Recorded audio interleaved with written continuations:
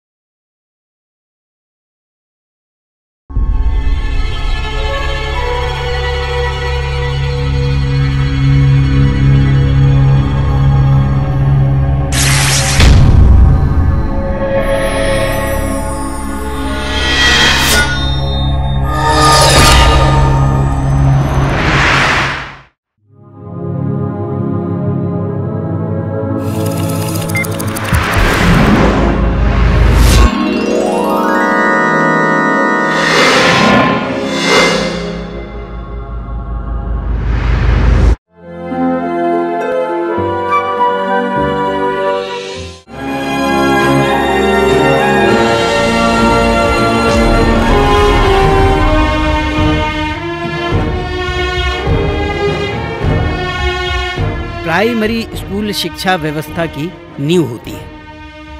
वहाँ बच्चे सिर्फ़ का, खा, गा, घा या ए बी सी डी सीखने नहीं जाते। वे सीखने जाते हैं पढ़ने की आदत। और अगर एक बार बच्चों में ये आदत पड़ गई तो उन्हें आगे बढ़ने से कोई नहीं रोक सकता। लेकिन बड़े दुख की बात है कि हमारे देश के अधिकांश प्राइमरी स्कूलों की हालत दिनों दिन बदतर होती जा रही है। खासकर सरकारी प्राइमरी स्कूलों की। और हम, दीनानाथ शास्त्री, एक ऐसे ही प्राइमरी स्कूल के हेडमास्टर हुआ करते थे, लेकिन एक दिन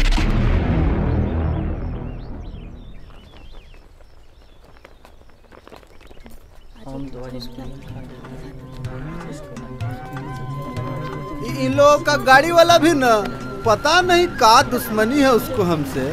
जिस दिन हम जरा सा भी लेट हो जाए ससुरा टाइम पर आकर फुर हो जाता है। लेकिन जब हम रोज टाइम पर आते हैं तो मजाल है उसका। कभी टाइम पर आ जाए मन तो करता है मार के मियाज ठंडा दे उसका। लेकिन क्या करे? भाई साहब ये बच्चे स्कूल जाने के लिए खड़े हैं। नहीं मछली मारने आए हैं। मारिएगा का? अरे कैसी बात कर रहे हैं आप? अरे गजब बतिया रहे हैं आप। अरे समझने वाली बात है। स्कूल ड्रेस पहन के अब पीठ पर गधा की तरह किताब कॉपी का बोझा लादे हुए अरे स्कूल जाने के लिए खड़े होंगे ना। हाँ लेकिन इनके तो गाँव में ही स्कूल है। कौन स्कूल? अरे वही जो अपना सरकारी स्कूल है गाँव में। अच्छा। जी मैं उसी की बात कर रहा हूँ। लीजिए अरे तो उसमें पढ़ने कौन जाता है? वहाँ तो बच्चे सिर्फ़ खाना खाने जाते हैं। वो भी जिसके घर में खाने का बहुत दिक्कत है बुझे। हम्म? अरे का हुआ? जी कुछ नहीं। वैसे एगो बात पूछे आपसे। हाँ पूछिए। आप हैं कौन? अब से पहले तो इस गाँव में आपको कभी देखे नहीं हम। मैं यहाँ के स्कूल का नया टीचर। बढ़िया है सरकारी नौकरी लग गया है लुटिए मज़ा लुटाए राजा। अब बता सकते हैं कि यहाँ पे सरकारी स्कूल कहाँ है? आप इस रास्ते से सीधा चले जाइए। अच्छा। बाएँ मुड़ने के बाद सामने आपको स्कूल मिल जाएगा। थैंक यू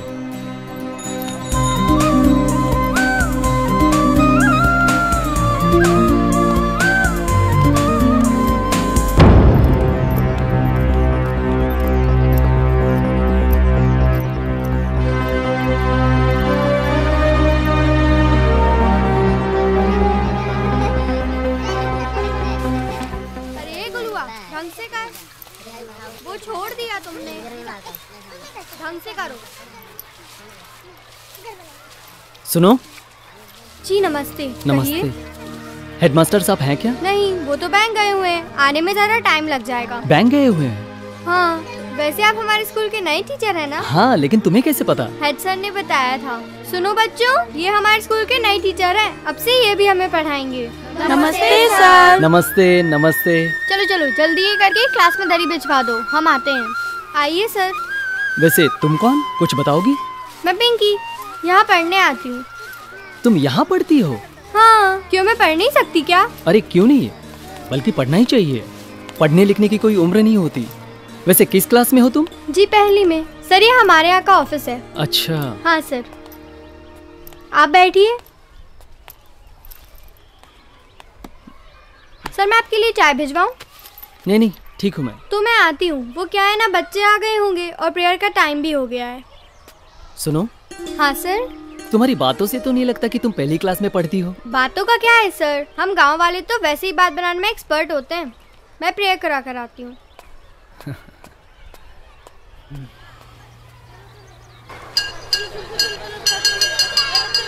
सब आ गए हैं ना? जी। चलो चलो सब ठीक से लाइन में आओ। जल्दी जल्दी। प्रेयर सावधान। प्रेयर विश्राम प्रेयर सावधान। प्रार्थना के लिए जल्दी रेडी हो जाओ। तू ही राम जल्दी आओ जल्दी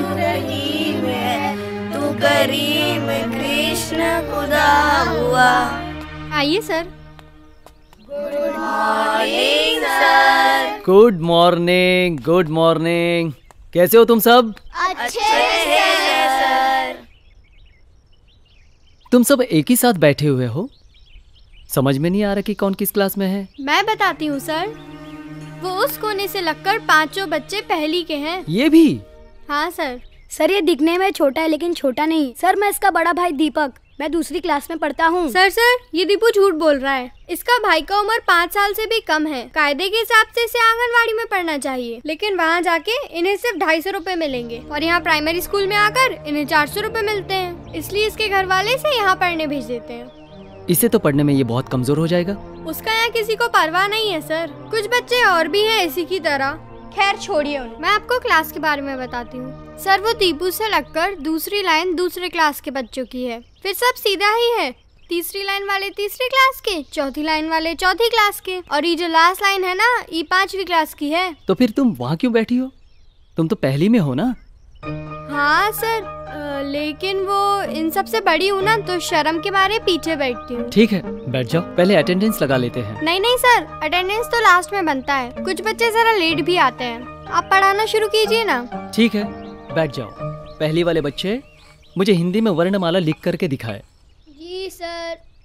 पांचवी वाले बच्चों आज मैं तुम लोग का भी एग्ज़ाम ही लूँगा। साइंस में कहाँ तक की पढ़ाई हुई है? सर चौथे लेसन तक पढ़ाई हुआ है। हम आपको किताब देते हैं ना आप कहीं से भी पूछ लीजिए।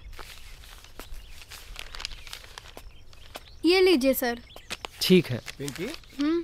आज हेड सर नहीं आएगा हम्म, ये कौन है? नए वाले सर हैं आज से ये भी पढ़ाएँगे। पढ़ाएँगे? अरे वाह।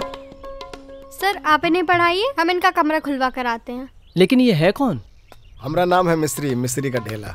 यहाँ हम मिड डे में खाना बनाते हैं। अच्छा अच्छा अच्छा ठीक आते है हैं sir nice to meet you sir thank you चलते हैं सर। अच्छा चौथे पाठ के अंत में दिए गए प्रश्नों का उत्तर लिख करके दिखाओ। महाराज। कितना गंदा हो गया। ए महाराज। का कहा लगता है?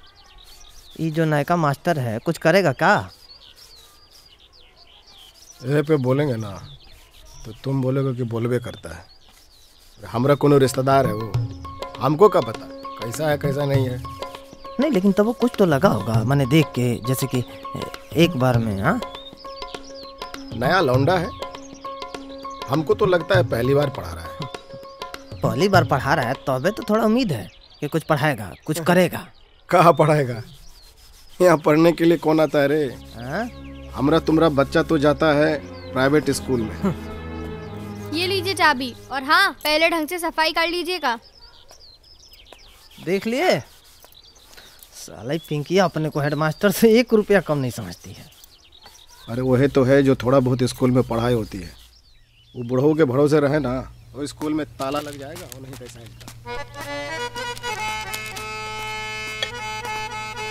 क्या मास्टर साहब? आज फिर से? अरे कितना बार बोले हैं आपको ये पुराना गाड़ी हटाइए नया गाड़ी ले लीजिए लेकिन आप बातें नहीं सुनते हैं हमारी। अरे तीन महीने से तनख्वाह नहीं मिला है आपको गाड़ी का पड़ा है।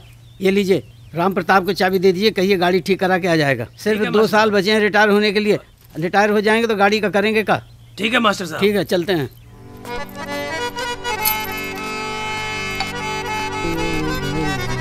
नमस्ते मास्टर साहब। राम राम। ये क्या लिखा है? सर हमारे विद्यालय में कुल सात कमरे हैं जिनमें से दो मुखिया जी के हैं जिसमें भूसे रखे जाते हैं। एक में पढ़ाई होती है और एक में एक मिनट रुको। जब हम निबंध लिख रहे होते हैं तो ऐसी बातें नहीं लिखा करते कि हमारे स्कूल के कमरे में भूसा भरा जाता है। जी सर। ठीक है बेटा? अरे इसके दिमाग में भूसा भरा हुआ है क्या कीजिएगा? सर आप यहाँ के हेडमास्टर साहब हैं सर गुड मॉर्निंग अरे काहे का गुड मॉर्निंग बैंक गया था। दो मिनट का काम था आधा घंटा लगा दिया उन्होंने। और बीच में मेरी गाड़ी खराब हो गई। खैर आपने आते ही बच्चों को पढ़ाना शुरू कर दिया। जी। बड़ा अच्छा लगा। अरे बेटा निबंध लिखने में सत्यवती राजा हरिश्चंद्र बनने की ज़रूरत नहीं है समझे? कहाँ पिंकी दीदी? मैं यही हूँ सर। अरे बेटा सुनो ज़रा तुम क्लास देखो मैं अभी आता हूँ। आप ज़रा मेरे साथ आइए। जी।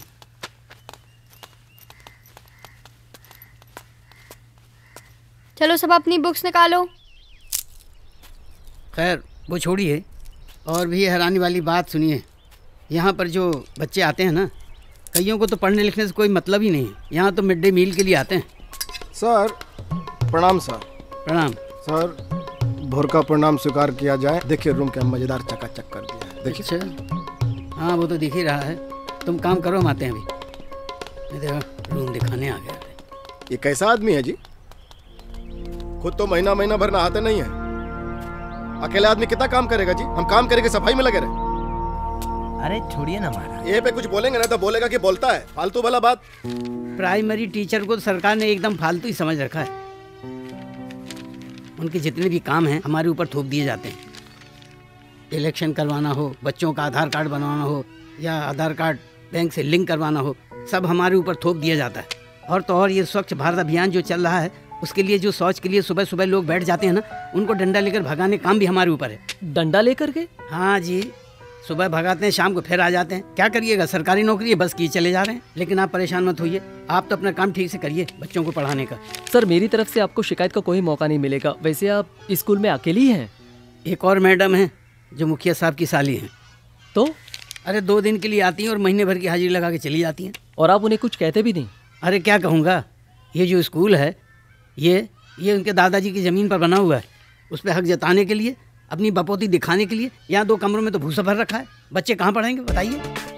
कैमरा रोल करो हम इसी आदमी से अपना रिपोर्टिंग स्टार्ट करेंगे ठीक है? Okay ma'am. एक्सक्यूज मी क्या आप इसी गाँव से हैं? नहीं लंदन से हैं। गजब बतिया रही है मैडम। अरे समझने वाली बात है ये लुंगी और कुर्ता पहन के कोई बाहर का आदमी यहाँ घूमेगा का एनीवे anyway, मैं Rashmi Hazarika ANI news reporter और हम लल्लन सिंह भैया जी सपोर्टर जब तक सूरज चाँद रहेगा भैया जी का नाम एक मिनट एक मिनट एक मिनट। हम यहाँ कोई चुनावी सर्वे करने के लिए नहीं आए हैं। तो का हर जोतने आई हैं? Ma'am I think he used abusive language for you no no he is just asking that why we are here. Oh. in his desi style you know? का अंग्रेज़ी में गिटिर पिटिर हो रहा है दोनों का। कुछ नहीं। देखिए हम यहाँ के सरकारी स्कूल के ऊपर एक न्यूज़ रिपोर्ट तैयार करने आए हैं। तो क्या आप हमें बता सकते हैं कि यहाँ पढ़ाई कैसी होती है? आ, अब देखिए हम तो यहाँ पढ़ते नहीं हैं और ना ही हमारे बच्चे लोग यहाँ पढ़ते हैं। तो आप खुद जाके देख लीजिए। इस गाँव में बस ये एक ही सरकारी स्कूल है और यहाँ आसपास कोई दूसरा स्कूल भी तो नहीं है। तो फिर आप अपने बच्चे को यहाँ क्यों नहीं पढ़ाते? कहा ना खुद जाके देख लीजिए। स्कूल की हालत तो रियली काफ़ी खराब लगती है। जॉन जरा कैमरा यहाँ फोकस करना। जैसे कि आप सब लोग देख रहे हैं ये इस गाँव की स्कूल की दीवार है और इस पर ये देखिए ये बरखा रानी के डांस प्रोग्राम का पोस्टर चिपका हुआ है। एक दो पोस्टर और भी है और नीचे शायद स्कूल के बच्चों ने भी अपनी कलाकारी दिखाई है। अब इस दीवार को देखकर आपको इस स्कूल की हालत का अंदाज़ा तो लग ही चुका होगा। खैर, आगे बढ़ते हैं और आपको ले चलते हैं स्कूल के कैंपस के अंदर। तो जैसा कि आप सब लोग देख सकते हैं, एक प्राइमरी स्कूल के हिसाब से एरिया काफ़ी बड़ा है स्कूल का। कोई बाउंड्री वॉल नहीं है। अब ये देखना ज़रूरी है कि यहाँ पढ़ाई कैसी होती है और क्या क्या सुविधाएँ हैं यहाँ पर। आइए देखते हैं। ये देखिए, ये इस स्कूल का पहला कमरा है, जो अभी बंद है और इसके नीचे ये भूसा। यानी मवेशियों का सूखा चारा पड़ा हुआ है जो ये दर्शाता है कि इस पूरे कमरे में भूसा भरा क्या हुआ हो रहा है। यहाँ पे? मैं जाऊँगा मैं जाऊँगा क्या कर रहे हो तुम सब? मैं जाऊँगा। आगे चलते हैं। चलो चलो अंदर चलो। मेरा आएगा मेरा आएगा। अंदर जाओ। तुम कौन? आप ऑफ़िस में चलिए ना हेड सर भी वही हैं। हाँ। और बच्चे यहीं रहेंगे आप बाद में शूट कर लीजिएगा। थोड़ी देर के लिए कैमरा बंद कर लीजिए प्लीज़। ओके। सर न्यूज़ वाले आए हैं। आइए आइए। सर हम लोग एनआई न्यूज़ से हैं और यहाँ आपकी स्कूल की हालत को लोगों तक पहुँचाने आए हैं। आप खड़े क्यों बैठिए ना पहले। थैंक्स पिंकी बेटा। हाँ सर। मिस्त्री से कहो जरा चाय पानी का इंतज़ाम कर दे। ठीक है सर। हाँ तो सर। हम्म। आपकी नज़र में यहाँ की स्कूल की हालत कैसी है? देखिए यहाँ टीचर बहुत कम हैं। मैं हूँ और मेरे अलावा एक मैडम है। अस्सी ये सर आ गए हैं। Nice to meet you sir thanks वैसे यहाँ की मैडम कौन है? वो पिंकी? नहीं नहीं वो तो बच्ची है। यहाँ दसवीं क्लास में पढ़ती है। माता पिता उसे हाई स्कूल में नहीं भेजना चाहते तो यहाँ चली आती मैं उसे पढ़ा देता हूँ जब वक्त मिलता है तो। अरे वाह ये तो बहुत अच्छा करते हैं आप। लेकिन यहाँ के बच्चों का क्या?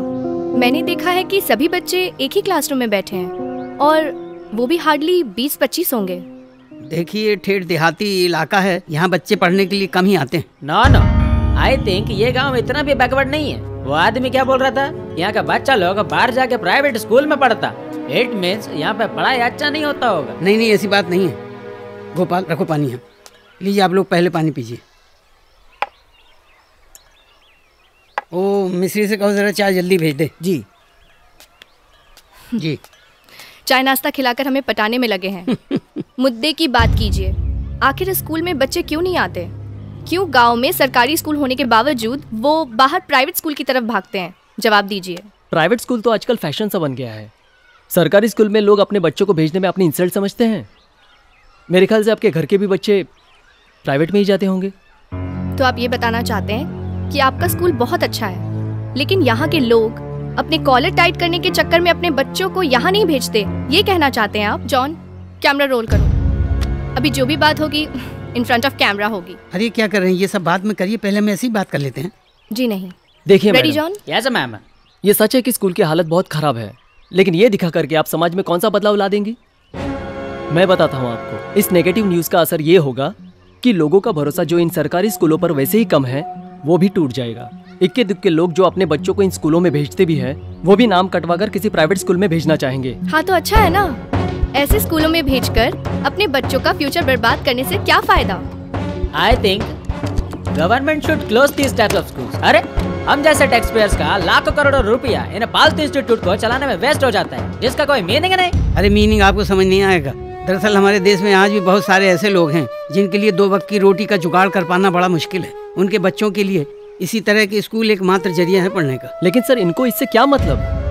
मैडम आप एक काम कीजिए। आप रिपोर्ट बनाइए और बंद ही करवा दीजिए ऐसे स्कूलों को। अरे कैसी बातें कर रहे हैं आप? सही कह रहे हैं सर। अमित बाबू आप जाइए अपनी क्लास में हम हम बात कर लेते हैं। एक न्यूज़ रिपोर्टर होने के नाते यदि ये चाहे तो समाज में बहुत कुछ बदलाव ला सकती है। पर इनको समाज की नहीं इनको तो अपनी पड़ी है। यही कारण है कि इनके रिपोर्टिंग का अप्रोच नेगेटिव होता है। ये उन खबरों को कभी उतना तवज्जो ही नहीं देते जिससे कोई समाज में पॉजिटिव वाइब्रेशन फैले। आप अपनी क्लास में जाइए प्लीज़ नहीं सर। बात अब मेरी प्रोफेशन पर आ गई है। हाँ तो बोलिए। मैं आपके स्कूल के बारे में अभी क्या रिपोर्ट तैयार करूँ जिससे समाज में पॉजिटिव वाइब्रेशंस फैले? बोलिए। मैडम मैंने कहा ना थोड़ा वक्त लगेगा। लेकिन मैं ये दावे के साथ कह सकता हूँ यदि पॉजिटिव अप्रोच के साथ मेहनत की जाए तो ये स्कूल क्या? इससे भी गया गुजरा स्कूल इस देश के स्कूलों के लिए मिसाल बन सकता है। बहुत ही अच्छा भाषण देते हैं आप। आप पॉलिटिक्स क्यों नहीं ज्वाइन कर लेते? बहुत स्कोप है वहाँ आप जैसे लोगों के लिए। देखिए मैं इनकी तरफ़ से माफ़ी चाहता हूँ। नहीं सर इन्हें टाइम चाहिए ना।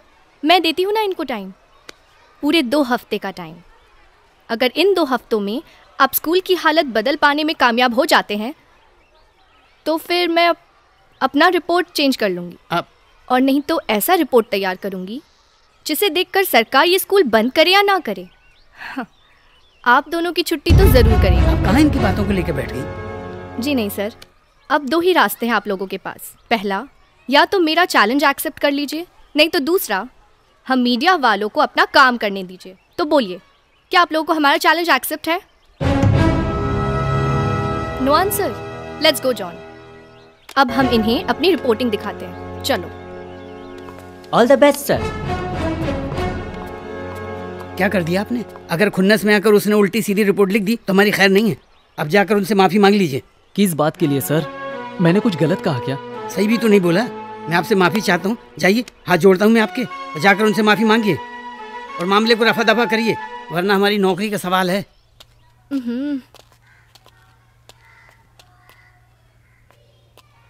तो जैसा कि आप लोग देख रहे होंगे ये स्कूल का शौचालय है।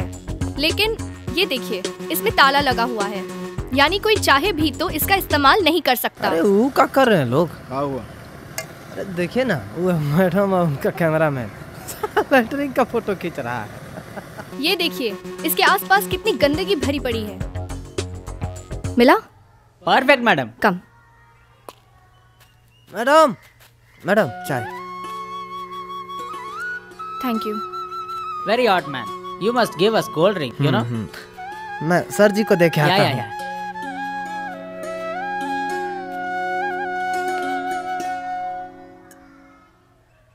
अभी अच्छे से देखना पड़ेगा। या। एक्सक्यूज मी हम्म। जी? सॉरी किस बात के लिए? मुझे आप लोगों से इतनी रूडली बात नहीं करनी चाहिए थी। हमें आप जैसे लोगों की आदत है। एक बात पूछे रश्मि जी आपसे। हम्म। आपको पूरे इलाके में एक मेरा ही स्कूल मिला था? और भी तो स्कूल होंगे गाँव में। देखिए सर आप हमें हमारा काम मत सिखाइए। हमें अच्छी तरह पता है कि इस पूरे इलाके में आपके स्कूल की हालत सबसे ज़्यादा खराब है। हाँ क्योंकि टीचर नहीं थे ना। अब मैं आ गया हूँ। तो फिर ठीक है। मेरा चैलेंज एक्सेप्ट कर लीजिए। चैलेंज वाली बात नहीं है मैडम। बात है। क्योंकि अब एक नॉर्मल स्कूल की नहीं बल्कि एक आइडल स्कूल बनाने की बात होगी। क्या हुआ सर आप इतने परेशान क्यों हो रहे हो? आप ही ने तो कहा था ना कि हम मीडिया वाले ऐसी रिपोर्टिंग करें जिससे समाज में पॉजिटिव वाइब्रेशंस फैले। तो इससे अच्छी रिपोर्ट और क्या हो सकती है कि एक टीचर ने कैसे मात्र पंद्रह दिनों में एक पूरे स्कूल का एटमोसफियर ही चेंज कर दिया? अगर ऐसी बात है तो मुझे चैलेंज एक्सेप्ट है। हम्म डन तो फिर मैं अपने ऑफ़िस में इसके बारे में बात कर लेती हूँ। जी। मैडम जी बहुत दर्द दे रहे हैं। हैं? अपने बाप से बोलता काहे नहीं है कि स्कूल की फ़ीस भर दे? कान खोल के सुन लो तुम लोग। अगर दो दिन के अंदर स्कूल की फ़ीस नहीं भरा ना तो स्कूल आने की ज़रूरत ना है। और अगर गलती से आ भी गया ना तो ऊ हाल करेंगे ना कि सोच भी नहीं सकते हो। उठो। जाओ।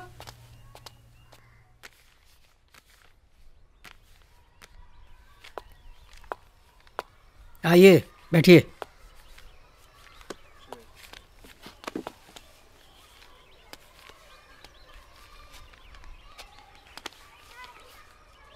बात हो गई? जी। और मैंने उनका चैलेंज एक्सेप्ट कर लिया। अरे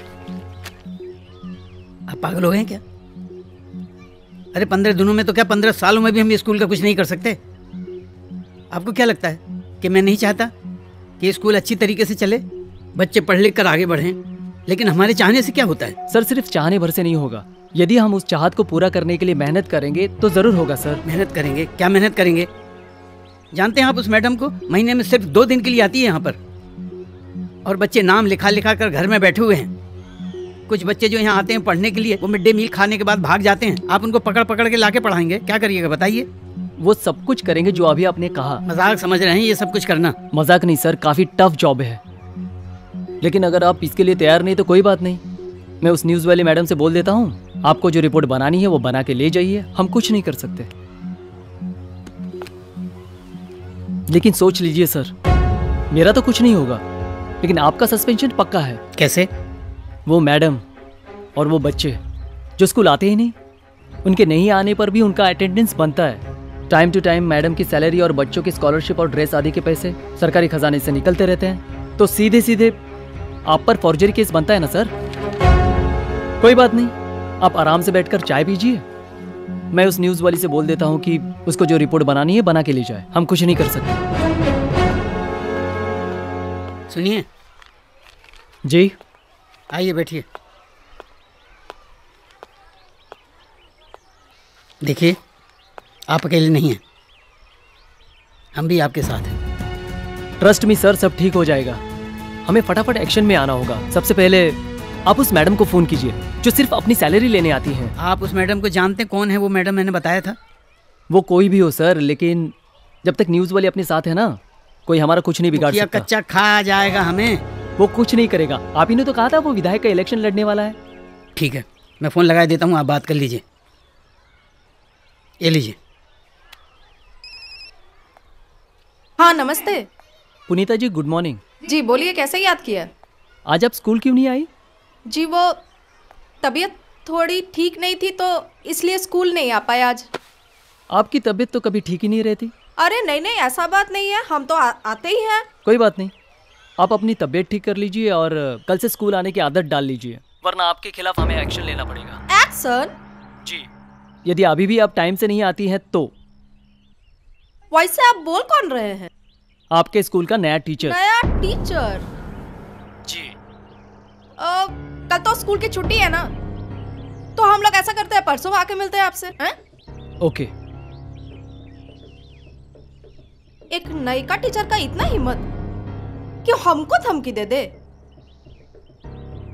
जीजा जी से बोलकर उसके होश ना ठिकाने लगवाया ना तो हमारा नाम भी पुनिता नहीं है। मुखिया जी हमने अपनी तरफ़ से आपका नाम विधायक कैंडिडेट के लिए पार्टी को भेज दिया है। बाकी आगे जो होता है देखते हैं। अरे चचा आपने कह दिया तो पार्टी आपकी बात टाल सकती है क्या? नहीं ना? हाँ उम्मीद तो है। महेंद्र बाबू उम्मीद पे जीना हमको बिल्कुल पसंद नहीं है। बाकी पार्टी वालों के भी हमें फ़ोन आ रहे फोर्स कर रहे हो जो भी बातें हैं जल्दी से क्लियर करिए। भैया जी के रुतबे के बारे में तो आपको पता ही होगा है ना? निर्दलीय भी लड़ेंगे तब भी जीत का झंडा गाड़ ही देंगे। फ़ोन का नहीं उठा रहे जीजा जी? अरे! ऐसा नहीं है। इनकी पकड़ बस अपने इलाके में है। बाकी दूसरे इलाके में और लोग भी हैं। महेंद्र भैया बिल्कुल सही बोल रहे हैं। उठ। उठ। उठ से औकात है तो अपना पार्टी का कैंडिडेट उतार के देख। जमानत न जब्त करा दिया तो हमारा नाम भी हेमराज सिंह नहीं। और यहाँ से। उठ उठ उठ उठ भाग। चुप कर हेमो। जा तो गाड़ी में जाके बैठ उठ। चल जा।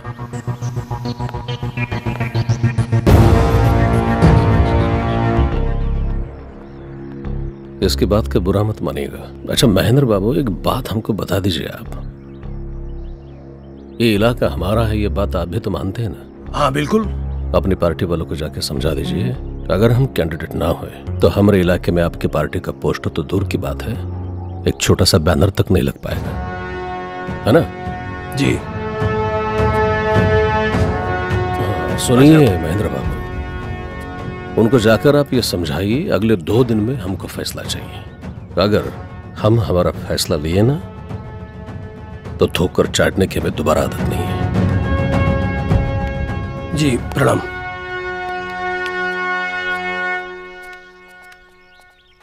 एक एक को पकड़ के कूट देंगे। अगर एक का भी आवाज़ आया तो अब। पागल करते थे सब। ये बार बार घंटी पे घंटी टंटनाए जा रही हो क्या बात है? ना नई का टीचर आया है और हमको धमकी दे रहा है। धमकी? हाँ कह रहा है कि रोज स्कूल टाइम पे नहीं आएँगे तो हमरे ऊपर एक्शन ले लेगा। सरकारी स्कूल की बात कर रहे हो क्या? और नहीं तो किसकी बात कर रहे हैं? कुछ तो कीजिए बस कुछ कर दीजिए। हम दूध गो स्कूल को कैसे अब अकेले अकेले संभाल लेंगे? तो टेंशन काहे ले रहे हो? हम है ना? लव यू जीजू लव यू बेटा। तो अब तुम लोगों में से कौन बताएगा? भारत के राष्ट्रपति कौन है? हम बताएँ मैडम। ए गुलुआ ज़्यादा नौटंकी मत कर। तुम उसे बोलने क्यों नहीं दे रही? मैडम ये पूरे स्कूल का सबसे गधा लड़का है। इसको कुछ नहीं आता है। बस दिन भर मस्ती सूझता है। पिंकी दीदी हमें कुछ बोलने ही नहीं देती है। अच्छा तो फिर तो तुम ही बताओ। हमारे देश के राष्ट्रपति कौन है? हम नहीं है आप नहीं है। बताइए सही कहा ना मैडम? बिल्कुल सही। और कोई बताना चाहेगा? हाँ बताओ। महात्मा गांधी। अरे बबलू महात्मा गांधी तो राष्ट्रपिता है ना? मैडम ने राष्ट्रपति पूछा है। रामनाथ कोविंद। रश्मि जी जी। आपने अपने ऑफ़िस में बात कर ली? हाँ। तो क्या आप पूरे पंद्रह दिन यहीं रुकने वाली हैं? डेफिनेटली क्यों? कोई प्रॉब्लम है आपको? अरे नहीं जी अब तो सारी प्रॉब्लम ही सॉल्व हो गई। अब आप देखिएगा ये स्कूल कैसे एक आइडियल स्कूल में कन्वर्ट होगा। मैं कुछ समझी नहीं। बहुत जल्द समझ जाइएगा। सर ये मुखिया ही है ना? हम्म। सही टाइम पे एंट्री ली है इसने। आइए देखते हैं। चलते हैं।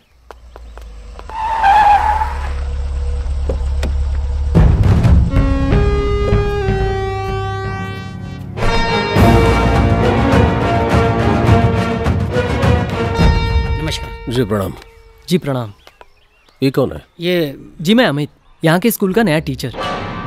वाह मास्टर जी। है। कोई नया आता है कोई चला जाता है हमको तो है? वैसे आप यहाँ के मुखिया जी है ना? कोई शक है का आपको? अरे नहीं जी प्रणाम। वैसे बड़ी लंबी उम्र है आपकी। हाँ। आप ही के बारे में बात चल रही थी। का? वो खैर छोड़िए इनसे मिलिए। ये रश्मि जी है। नमस्ते जी। और नमस्ते। इनके कैमरा पर्सन मिस्टर जॉन। नमस्कार। ये दोनों मीडिया से है।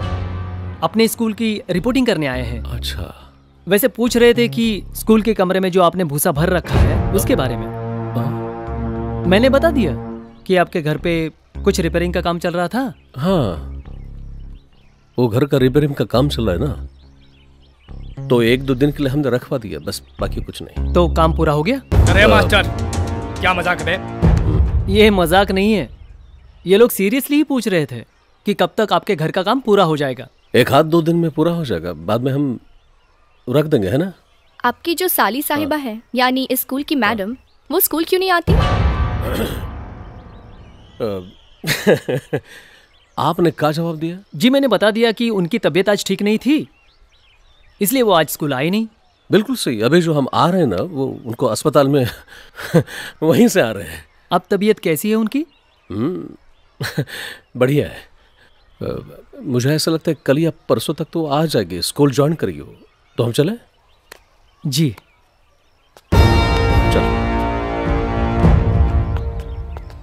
ये मुखिया की छटपटाहट देख के बड़ा सुकून मिला मुझे। लेकिन आने वाले खतरे का डर है थोड़ा। वो दू कौड़ी का मास्टर ससुरा आपको भिगा भिगा के जूते मार रहा था और आप चुपचाप खड़े होकर सुन रहे थे। एक बात बताएँ भैया? ये विधायक बनने में इतना नाटक है ना तो आप मुखिया अच्छे कम से कम इज़्ज़त तो बनिए ना। पागल मत बन। किसके सामने इज़्ज़त की बात कर रहे हैं तुम? मीडिया वाले के दम पर ही तो उछल रहा है ना वो? हाँ? वो उछलने दो एक बार मीडिया वाला यहाँ से निकल जाए उसके बाद अगर खून के आँसू उसको नहीं रो रहा है तो मेरा नाम बदल देना।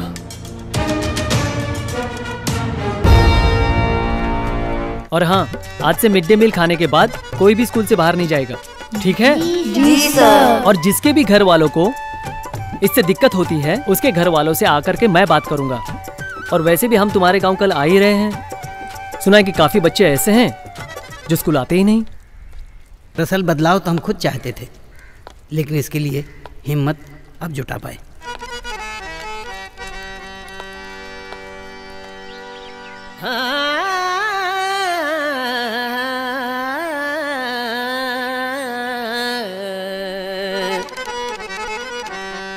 लेके आए हम हारमोनिया घर से निकलो मुन्ने मुनिया। अब स्कूल चलो तुम। स्कूल चलो तुम। स्कूल चलो तुम। स्कूल चलो तुम। यहाँ तुम बैठे हो घरों में। यहाँ तुम बैठे हो घरों में। और चाँद पहुँची दुनिया। अब स्कूल चलो तुम।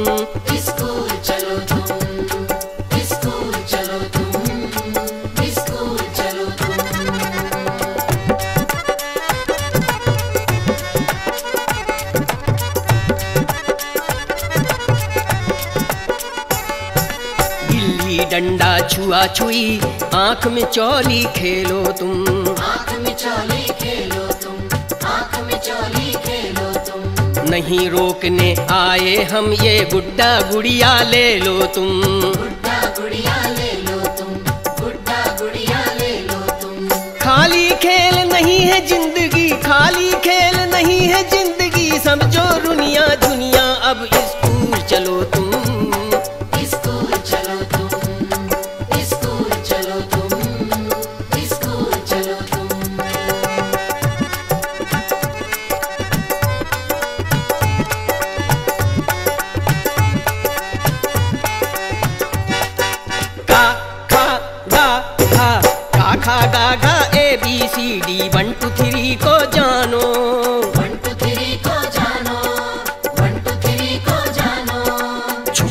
तेरे अंदर अवसर बाबू तुम पहचानो। बाबू तुम पहचानो बाबू तुम पहचानो। अरे अवसर बीता जाए पल पल अवसर बीता जाए पल पल बजे घंटी टुन टुनिया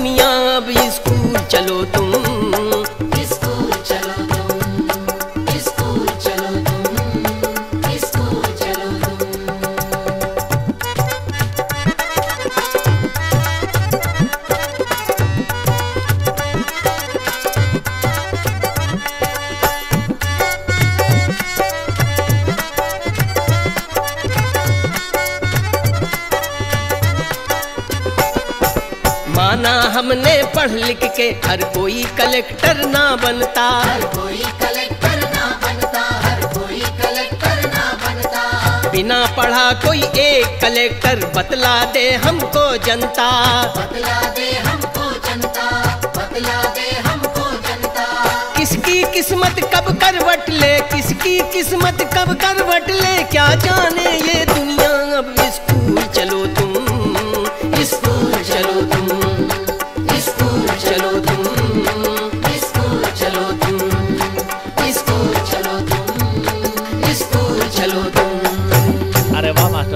आपने तो कमाल ही कर दिया।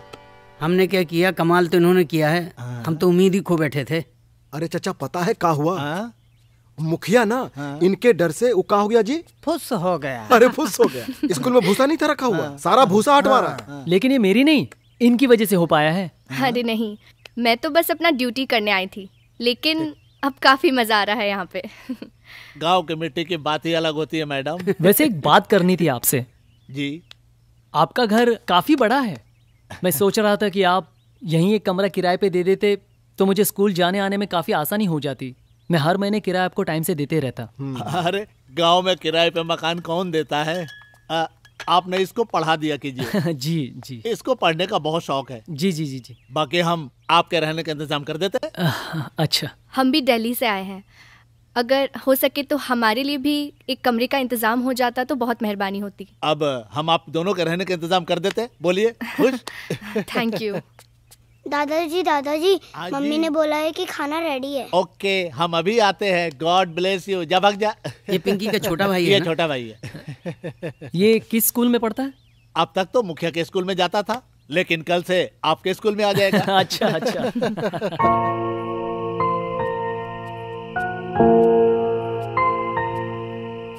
अमित जी आप यहाँ अकेले क्या कर रहे हो? अरे रश्मि जी आप? बस ये गाँव देख रहा था। वैसे यहाँ आने से पहले क्या करते थे आप? दो साल पहले तक तो मैं पकौड़े बेचा करता था। व्हाट हाँ रांची शहर में एक बस स्टैंड के बगल में पकौड़ी की दुकान थी। वहीं पर मैं पकौड़े बेचा करता था। तो मिस्टर पकोड़े बेचते बेचते यहाँ कैसे आ गए? बहुत लंबी कहानी है। फ़िलहाल मेरे पास तो वक्त ही वक्त है। दरअसल मेरे घर वाले मेरी शादी करवाना चाहते थे। अच्छा? हमारी लक्ष्मी गाय है गाय। अच्छा हमारा अमित भाई किसी बैल से कम नहीं है। क्या कह रहे हैं? अरे मतलब मेहनती है। पता है ये चाहता तो छोटी मोटी नौकरी तो कब का कर लेता। लेकिन नहीं इसका तो एक ही टारगेट है आईएएस अफसर बनने का। उसी की तैयारी में जी जान से लगाए हाँ। मुझे तो अभी से इसके चेहरे पर आईएएस ऑफिसर वाली चमक साफ़ दिख रही है।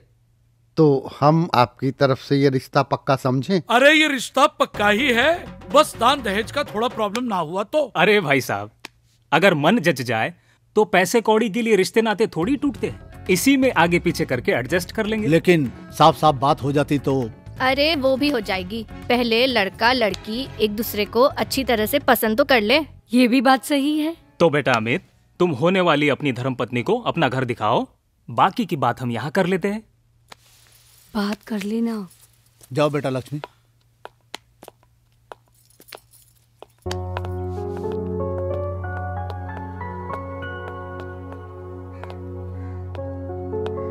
आप जानते हैं हमारा ना बचपन से एक ही सपना रहा है कि हमारा शादी किसी आईएएस अफसर के साथ ही हो। लेकिन मैं आईएएस ऑफिसर नहीं हूँ। अरे नहीं है तो क्या हुआ? हो तो जाइएगा ना। और इसमें मैं आपका पूरा सपोर्ट करूँगी। आपका चाय नाश्ता खाना पीना कपड़ा लत्ता सब कुछ संभाल लूँगी। बस जब आप अफसर बन जाइएगा ना तो अपनी लाल बत्ती वाली गाड़ी में हमको रोज घुमाइएगा। वो क्या है ना लाल बत्ती की गाड़ी में घूमने का मज़ा ही कुछ और है। एक मिनट। आपको मुझसे शादी करनी है या किसी आईएएस ऑफिसर से? अब आपसे शादी हो जाएगा तो दोनों ही हो जाएगा ना। अब आईएएस अफसर की तैयारी कर रहा है। आप ही बता दीजिए आपने भी तो कुछ सोच ही रखा होगा। जी भाई साहब हमने सिर्फ़ दस लाख सोचा है उससे ज़्यादा नहीं। ऊपर वाले की दया से सब कुछ है अपने पास। हमें तो इज़्ज़त की पड़ी है। लोग क्या कहेंगे? अरे लोगों का छोड़िए अब तो हम आपस के रिश्तेदार हो गए। बाकी बारातियों के आवभगत में कोई कमी नहीं मिलेगी आपको। और एक बात बता दें आपको हमारी बेटी साक्षात लक्ष्मी है। देखिएगा उसके कदम आपके घर में पड़ते ही दामाद जी का आईएएस का एग्ज़ाम भी क्लियर हो जाएगा। मैं कोई आईएएस तो दूर किसी क्लर्क की जॉब की भी तैयारी नहीं करता। एक पकौड़ी की दुकान है मेरी। धंधा अच्छा चलता है। आपको कभी किसी चीज़ की तकलीफ़ नहीं होगी। तकलीफ़ नहीं होगी? अब हम पकौड़े वाले से शादी करेंगे। पापा! रुकिए। पापा ये लोग चीटर हैं चीटर। लड़का कोई आयस वायस की तैयारी नहीं कर रहा है। ये पकौड़े बेचता है रोड पर। क्या? जी रोड पे नहीं। दुकान है मेरे बस स्टैंड के बगल में। अरे शर्म आनी चाहिए आप लोगों को। पकौड़ा छाप लड़का को आईएएस ऑफिसर बताकर हमारी बच्चे की ज़िंदगी बर्बाद कर रहे हैं। ऐसा नहीं है। इसकी दुकान ज़रूर है। लेकिन ये तैयारी भी कर रहा है। मैं कोई तैयारी वैयारी नहीं कर रहा। अरे तो मुँह में क्या? सबके सामने तुम्हारे दही जमा हुआ था। पहले क्यों नहीं बताया? अरे बताएगा कैसे? इन लोगों ने कहा होगा उसे चुप बैठने के लिए। ये तो अच्छा हुआ कि समय रहते। मेरी बेटी ने सारी सच्चाई का पता कर लिया वरना तो ये बर्बाद हो जाती। अरे बहुत बेशर्म लोग हैं आप लोग समझे? अब बहुत हो गया तेरा। अब अगर एक शब्द भी मेरे घर वालों के खिलाफ बोला ना तो तेरी ज़ुबान खींच लूँगा। चलिए निकलिए यहाँ से। निकलिए यहाँ से। बेशरम। कैसे कैसे लोग होते हैं। ऑफिसर बनेगा। बेटा तू जहर क्यों नहीं दे देता हम लोगों को? अरे बार बार जलील होने से तो अच्छा है एक बार जहर खा के मर जाए। हद कर दिए इस लड़के ने। मुझे तो ये समझ में नहीं आता कि आप लोग झूठ बोल करके मेरा रिश्ता क्यों करवाना चाहते हैं? क्योंकि कोई भी खानदानी आदमी एक पकोड़े वाले से अपनी बेटी का शादी नहीं करना चाहता।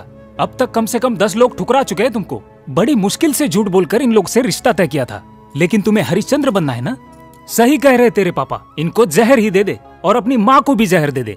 इन्हें यूँ ही घुट घुट के जीते हुए नहीं देख सकता। अरे पकोड़े बेचकर ईमानदारी से पैसे कमाता हूँ। इसमें शर्म की क्या बात है?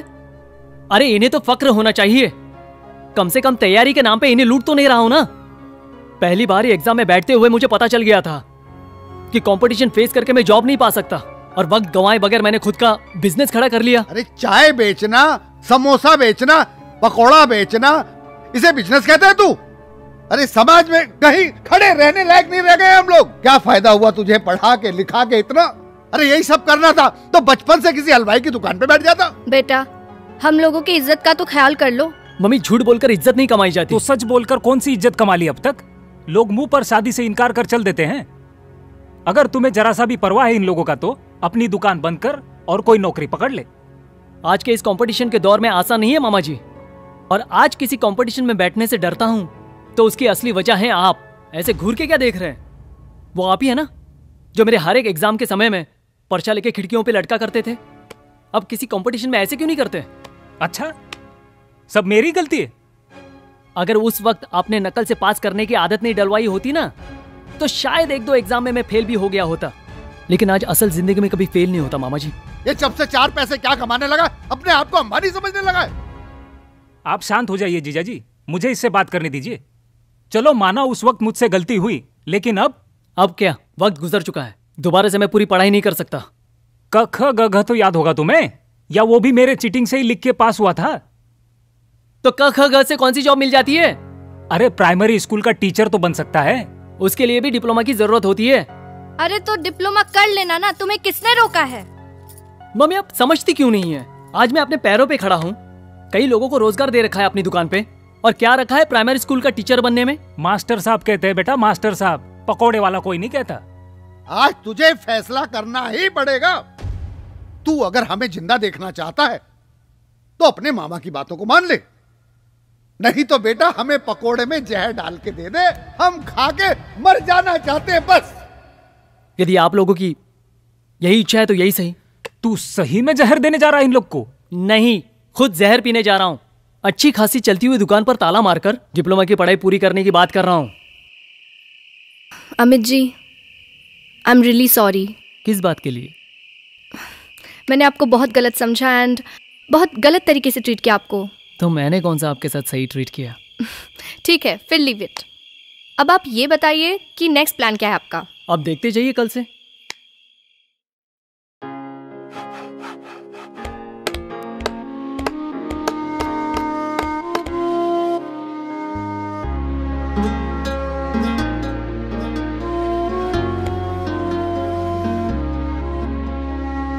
बरसों से जो बंद पड़े हैं, धूल भरे दरवाजे खोलो। तकदीरों की गुम है चाबियाँ, जंग लगे सब ताले तोड़ो। धूप बने हम, छाँव बने हम, मिले नई पहचान। पंख नए हैं, नया आसमां अब है नई उड़ान।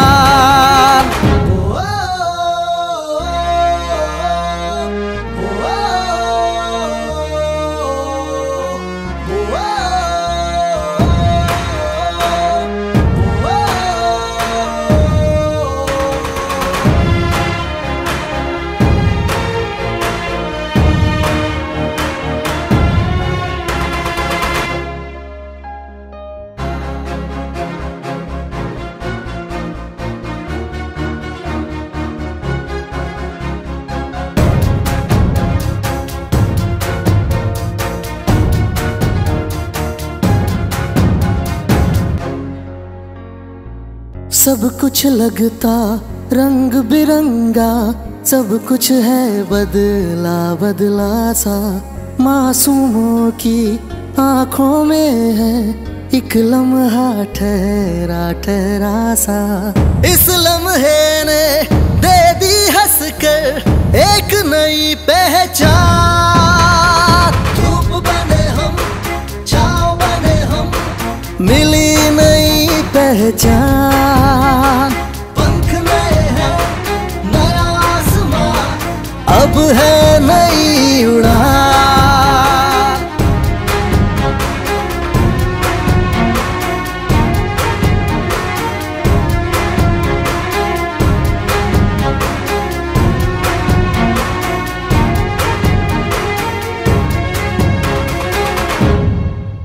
बच्चों के पास किताबें नहीं हैं पढ़ाने में बहुत दिक्कत हो रही है। देखिए सर हम आपकी समस्या समझते हैं। लेकिन किताबों का पैसा आएगा तभी तो मिलेगा ना। सर गवर्नमेंट के फंड से पैसा तो निकल ही जाता है। देर सवेर किताबें भी आ जाती है। लेकिन समय से किताबें नहीं आने से जो बच्चों का नुकसान होता है उसकी हम भरपाई नहीं कर सकते। इसलिए सर आप प्लीज़ कुछ कीजिए ना। अरे कैसी बात करते हैं आप? अरे भाई ऊपर से ही पैसा लेट आता है तो हम क्या कर सकते हैं बताइए। देखिए आप एक काम कीजिए। फ़िलहाल तो पुरानी किताबों को पढ़ाकर काम चला लीजिए। जैसे फंड आ जाएगा नई किताबें ले लीजिएगा। वो तो सर हम कर ही रहे हैं लेकिन लेकिन लेकिन कुछ नहीं हमारा समय बर्बाद मत कीजिए आप। और जो कुछ भी बोलना है जल्दी बोलिए। सर वो मिड डे मील का भी पैसा नहीं आया चार महीने से। हम दो बार एप्लीकेशन दे चुके हैं। ये देखिए। हाँ तो इसका भी फंड आ जाएगा तो मिल जाएगा। काहे चिंता कर रहे हैं सर हम बच्चों को ये नहीं कह सकते ना कि जब फंड आ जाएगा तो चार छह महीने का खाना इकट्ठा खा लेना। उनको तो डेली खाना चाहिए ना। हाँ तो दे दीजिए ना। हमने कब मना किया आपको? आज नहीं तो कल पैसे तो मिल ही जाएँगे ना आपको। सर अब तो दुकानदारों ने भी उधार देना बंद कर दिया है। एक बात बताइए जब आप लोगों की तनख्वाह नहीं मिलती है तो आप लोगों के घर पर खाना बनता है कि नहीं बनता है? बनता है ना? तो फिर स्कूल को भी अपना घर समझ लीजिए। अरे मैनेज कर लीजिए ना कुछ दिन। सर कब तक मैनेज करें? मैनेज ही तो करते आ रहे हैं। तीन महीने से हमारी भी तनख्वाह नहीं मिली बहुत परेशानी हो रही है। अरे तो आप क्या चाहते हैं? अपने घर से पैसे ला के दे आपको? नहीं नहीं। बच्चों की सारी ज़िम्मेदारी तो इन टीचर्स के ऊपर है। आपको तो बस सरकार ने सैलरी देने के लिए बैठा रखा है। ए, मैडम, तमीज से बात कीजिए आप।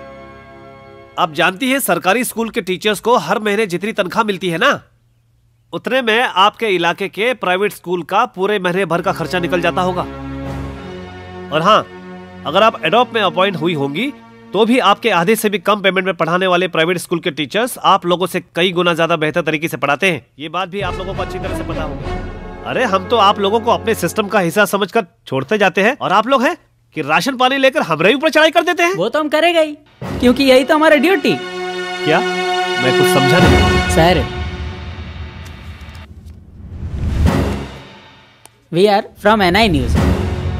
She is Rashmi Hazarika, reporting with cameraman John Lobo. ANI news हाँ और अगर बच्चों के किताबों का पैसा और यहाँ तक कि मिड डे मील का पैसा सही समय पर नहीं मिल पा रहा और फिर भी आप कुछ नहीं कर सकते तो फिर आप इन्हें लिखकर दे दीजिए कि आप कुछ नहीं कर सकते। या तो फिर आप हमारे कैमरे पे ही बोल दीजिए। जॉन कैमरा निकालो। एक एक मिनट प्लीज़ प्लीज़ रुके रुकिए। अ, सर आप अ, मुझे आपकी एप्लीकेशन दे दीजिए। आपके जो भी रिक्वायरमेंट्स है मैं कुछ करता हूँ। दे दीजिए मुझे दीजिए। ये लीजिए। दीजिए मुझे। ठीक है मैं मैं बात करता हूँ। अब है नई धन्यवाद। हम्म। हम्म,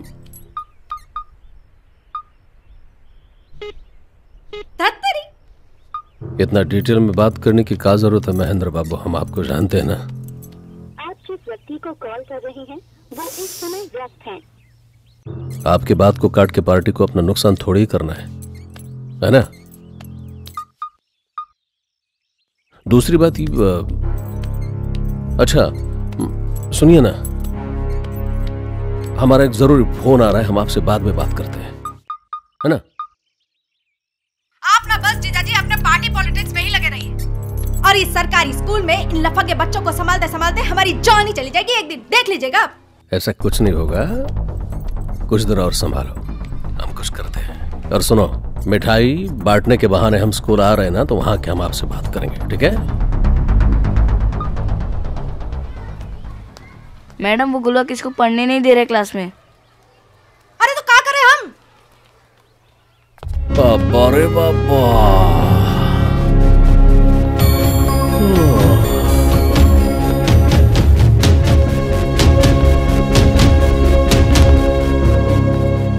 गाँव अपना घर अपना बच्चे भी अपने फिर विद्यालय क्यों ना हो?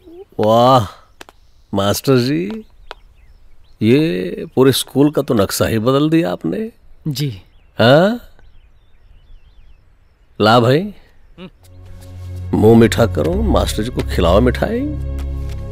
बहुत बढ़िया किया ये सब आपने है ना? मैं खाइए, मैं खाइए। मैं खा लूँगा थैंक यू अरे थैंक यू थैंक यू मैं खा लूँगा। अच्छा मास्टर जी कहाँ है वो आपकी मैडम साहबा?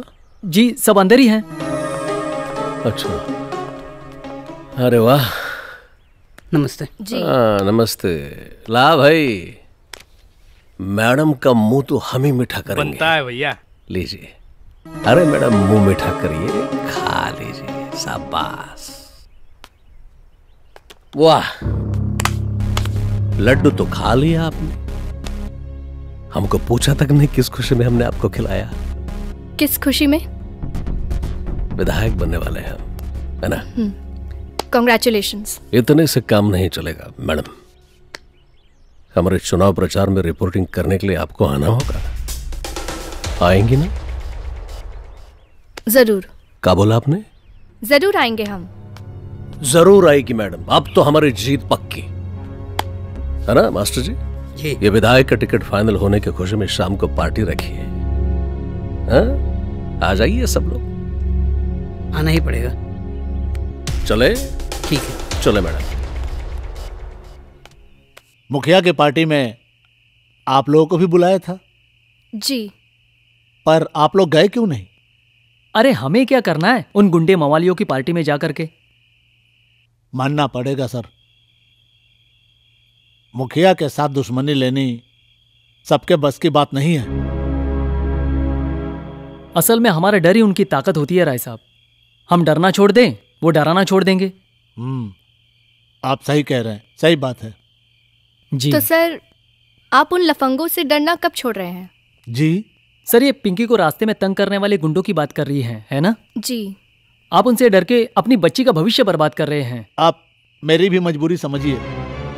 इसका बाप जो है ना देश की रक्षा के लिए बॉर्डर पे खड़ा है। और इसकी रक्षा के लिए ना सारी ज़िम्मेदारी हम जैसे अ, अ, हार्ट पेशेंट की है। अब इस बुढ़ापे में हम कैसे लड़ेंगे उनसे? आपको लड़ने की कोई ज़रूरत नहीं। आप बस उन लड़कों का नाम दे दीजिए। मैं उनके खिलाफ रिपोर्ट लिखवाती हूँ। रिपोर्ट लिखवाने के बाद? कुछ नहीं होगा सर। यदि ये रिपोर्ट करेंगी तो पुलिस वालों पे भी प्रेशर बना रहेगा। जी। आप टेंशन मत लीजिए बस उन लड़कों का नाम मुझे दीजिए और पिंकी को स्कूल भेजने की तैयारी कीजिए। डोंट वरी सर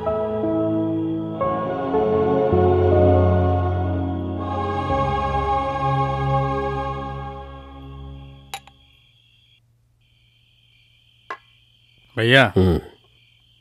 एक बात बताएँ बुरा मत मानिएगा। आप विधायक बनने के चक्कर में ना हम्म।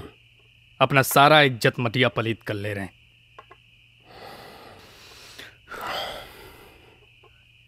क्या है हेमो? नेतागिरी में ऐसा ही होता है सारा। चुनाव के चार पाँच महीने पहले हम लोग सारी दुनिया के सामने यूँ ऐसे हाथ जोड़ के खड़े रहते हैं। हम्म? चुनाव के बाद चार पाँच साल तक दुनिया हमारे सामने ऐसे हाथ जोड़ के खड़े रहती है।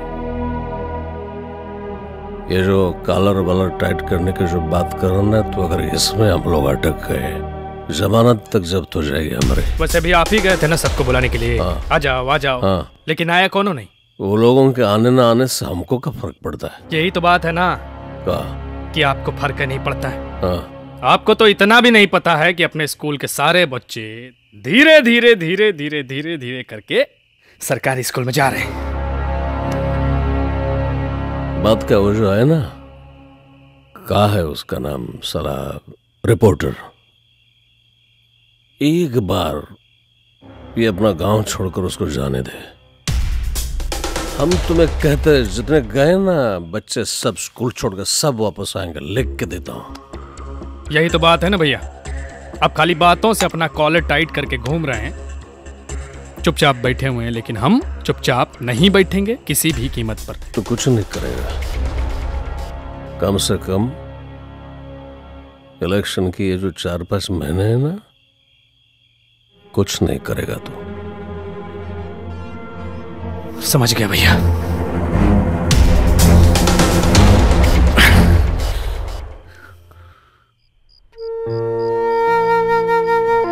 जॉन बता रहा था कि कल आप लोग जा रहे हैं। जी ऑफ़िस से फ़ोन आया था। कल हमको निकलना ही पड़ेगा। और वैसे भी आप तो अपना चैलेंज जीत ही चुके हो। मुझे कभी हार जीत की पड़ी ही नहीं थी रश्मि जी। लेकिन हाँ स्कूल में बदलाव ज़रूर लाना था।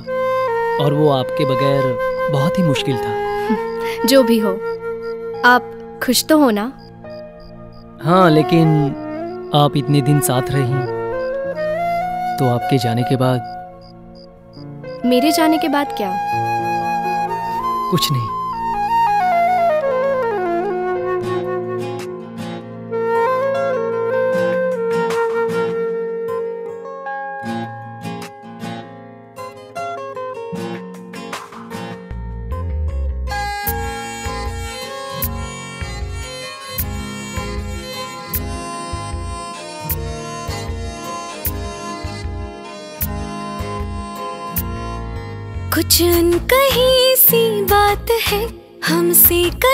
जाए ना। कुछ है वजह जो इश्क का इजहार हो पाए ना। कुछ अजनबी एहसास है जो दिल ये रह पाए ना। हम दो किनारे, हमारे दरमिया मीलों की है ये दूरियाँ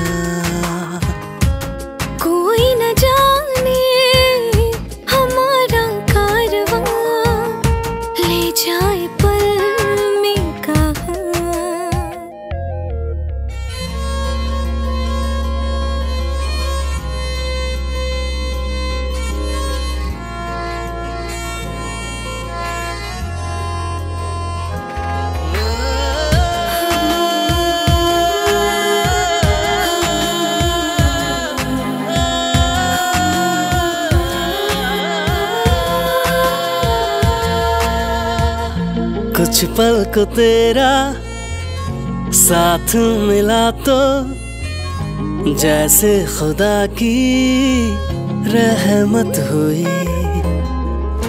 पाले तुझे ये अरमान ऐसा जैसे हो पूरी हसरत कोई। हर ख्वाब पे रंग चढ़ता नहीं है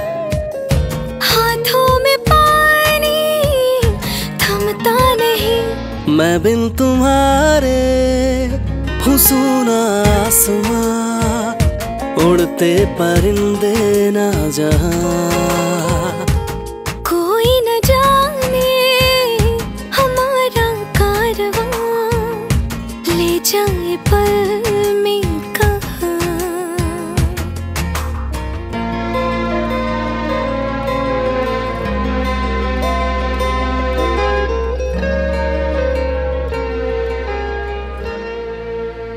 प्रणाम कर दे मास्टर जी।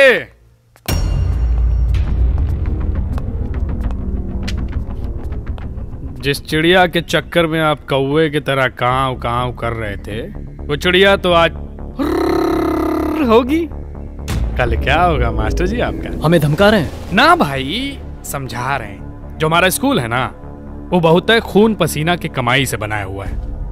उसको नुकसान पहुंचाएँगे ना तो बर्दाश्त नहीं होगा। मैं कुछ नहीं कर रहा हूँ। मैं तो बस अपनी ड्यूटी कर रहा हूँ। अबे चुप सरवा। जब ये गाँव का बच्चा लोग पढ़ाई के लिए तरस रहा था तो हमने स्कूल बनवाया। अब उनको शिक्षा भी अच्छी मिल रही। तब काहे उंगली कर रहे हैं भाई साहब? हैं? अरे माना कि आपने स्कूल में सुधार किया है, लेकिन इसका मतलब ही थोड़ी है हमारा स्कूल का बच्चा खींच लेंगे। हैं? सरकारी नौकर है ना आप? भैया, सरकारी नौकर है ना तो चाहे एक बच्चा को पढ़ाइए, चाहे सौ बच्चा को। सरकार आपको तनख्वाह उतना ही देगी। समझ रहे हैं ना? देखिए मिस्टर, मैंने कुछ नहीं किया। बच्चे अपने घर वालों की मर्ज़ी से आपका स्कूल छोड़कर यहाँ आ रहे हैं। इसमें मेरी क्या गलती है? अरे, विद्या के मंदिर को व्यापार का अड्डा बना दिया है आप लोगों ने। सेवा में श्रीमान आचार्य महोदय सविनय निवेदन यह है कि प्रार्थी के स्कूल से आप ये जितने बच्चे लेकर आए हैं, उन्हें वापस कर दीजिए। वरना प्रार्थी आपको बीच चौराहे पर खड़ा करके इतने डंडे मारेगा, इतने डंडे मारेगा, इतने डंडे, प्रणाम। चल बे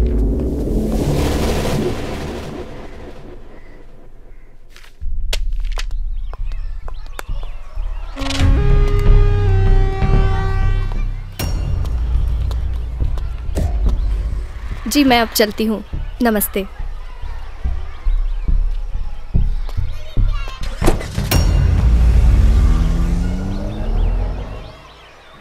जो जो बच्चे प्रॉपर यूनिफॉर्म में नहीं आए हैं, वो लाइन से बाहर निकलिए। जल्दी बाहर निकलिए।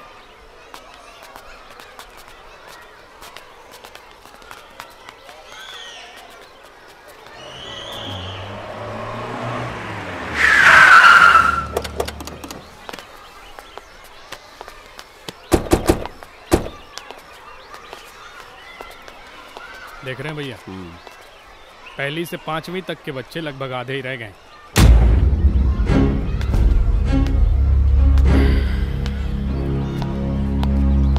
अरे हम्म का होता है भैया? या तो आप कुछ कीजिए या हमको करने दीजिए। वरना हाथ पे हाथ रख के बैठे रहेंगे ना तो स्कूल पे ताला मारना पड़ जाएगा एक दिन। ऐसा कुछ नहीं होगा। भैया आप समझ नहीं रहे हैं।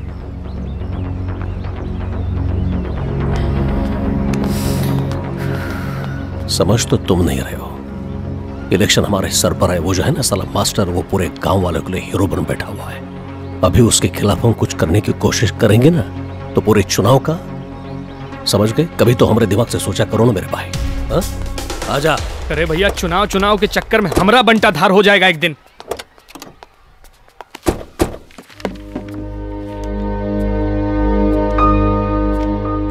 सर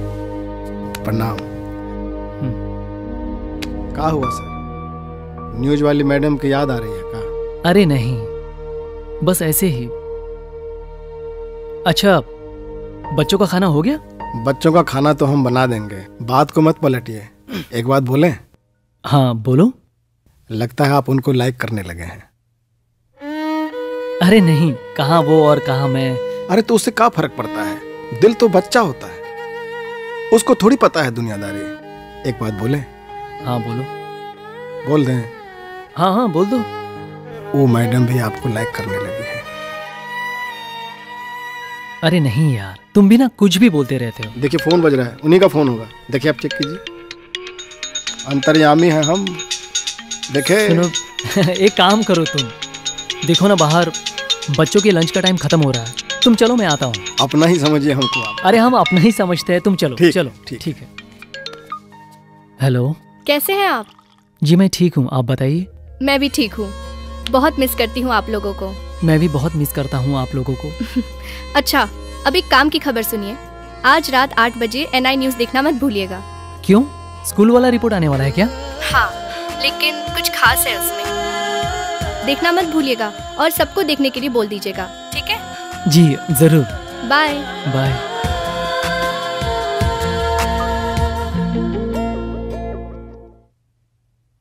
नमस्कार मैं रश्मि हजारिका। आप सबके सामने एक ऐसी स्टोरी लेकर आई हूँ जिसके बारे में सुनकर भी आप हैरान रह जाएँगे। ये कहानी है एक ऐसे प्राइमरी स्कूल टीचर की जो कभी पकोड़े बेचा करता था। लेकिन जब वो रामगढ़ के एक छोटे से गाँव पोचरा में टीचर बनकर आता है। सही में पहले पकोड़े बेचते थे? जी। आपने कभी बताया नहीं? आपने कभी पूछा नहीं? चलिए अब हम न्यूज़ सुन ले। सुनोगी? ऑन करूँ? हाँ। Okay. एकदम बदहाल पोचरा के सरकारी प्राथमिक विद्यालय को उन्होंने अपने इच्छा शक्ति और मेहनत के बल पर बदलकर एक आदर्श स्कूल कहलाने के लायक बना दिया। लेकिन ये सब इतना आसान नहीं था। उसे उस गाँव के मुखिया गजराज सिंह से सीधे टक्कर लेना पड़ा। उसकी और उसके भाई की धमकियाँ भी सुननी पड़ी। लेकिन वो डरा नहीं और मात्र पंद्रह दिनों में उस स्कूल को बदलकर एक आदर्श स्कूल बना दिया। अरे क्या हो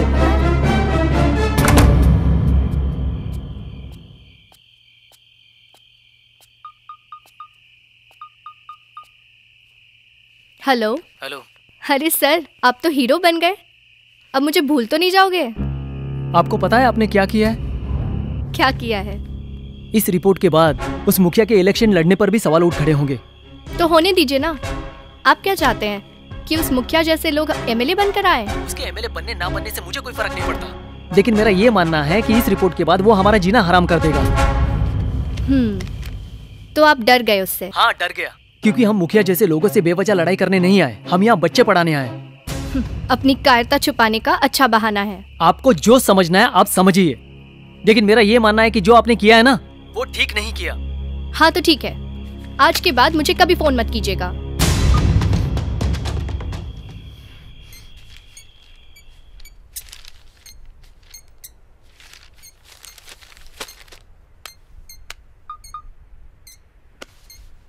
जी महेंद्र बाबू। आज का पेपर पढ़ा? पढ़ लिया लेकिन टेंशन मत लीजिए सब ठीक हो जाएगा। ऊपर से ऑर्डर आया है आपका टिकट कैंसिल करने के लिए। क्या? जी हाँ अब मुझसे कोई उम्मीद मत रखिए। लेकिन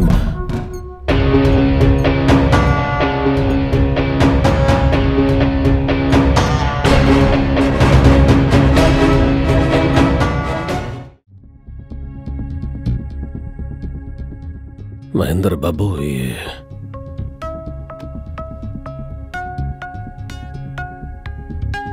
जो भी कुछ हुआ ये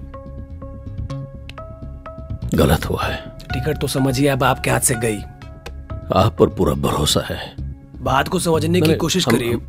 कहने का मतलब यह है हमारा कि आप कुछ करेंगे ना तो बात को समझने की कोशिश करिए मुखिया जी। बहुत सारे लोग थे। हमने बहुत कोशिश करके आपको टिकट दिलाया। और अब तो पार्टी वाले भी मेरी नहीं सुनेंगे क्योंकि उनके लिए भी इमेज की बात है।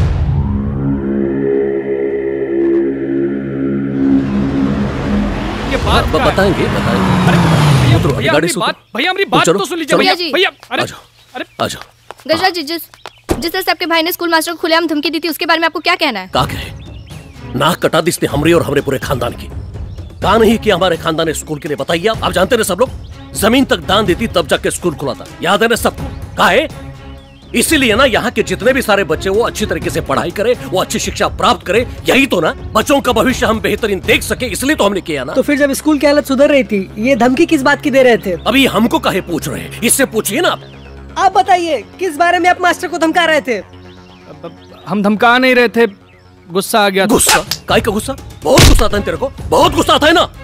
वहाँ जेल में जब चक्के पीसोगे ना तो होश ठिकाने पे आ जाएँगे तुम्हारे। भैया क्या क्या कर एक मिनट। मारूँगा? अरे मुखिया जी अरे अरे मुखिया जी। बैठिए। हाँ? गिरफ़्तार करो इसको। सरेआम गुंडागर्दी करके हमारी इज़्ज़त उतरने पे तुला हुआ है ना? करो गिरफ़्तार इसको। अरे मुखिया जी मगर किया कहा है? अखबार पढ़ते नहीं? टीवी देखते नहीं का आप? हमारे स्कूल के मास्टर। उनको धमकी दी इसने। मुखिया जी एक धमकी के चक्कर में हम ही का अरेस्ट नहीं कर सकते। बाहर जाके बड़ा कांड करके आए तभी इसको गिरफ़्तार कीजिएगा। अरे ऐसा नहीं है मुखिया जी। तो? जब तक ही के खिलाफ कोई हमारे यहाँ रपट दर्ज ना कराएगा तब तक हम ही को गिरफ़्तार नहीं कर सकते। हम कर रहे लिख लो। हम कर रहे हैं ना लिखिए। अरे मुखिया जी आप इतने समझदार हैं। अरे आपके नाम की कंप्लेंट पर हम ही को कहाँ अरेस्ट करेंगे? तो? आप एक काम करो उ मास्टर का नंबर हमको दो। हम ऊ का कॉल करके अभी यहाँ बुलाते हैं।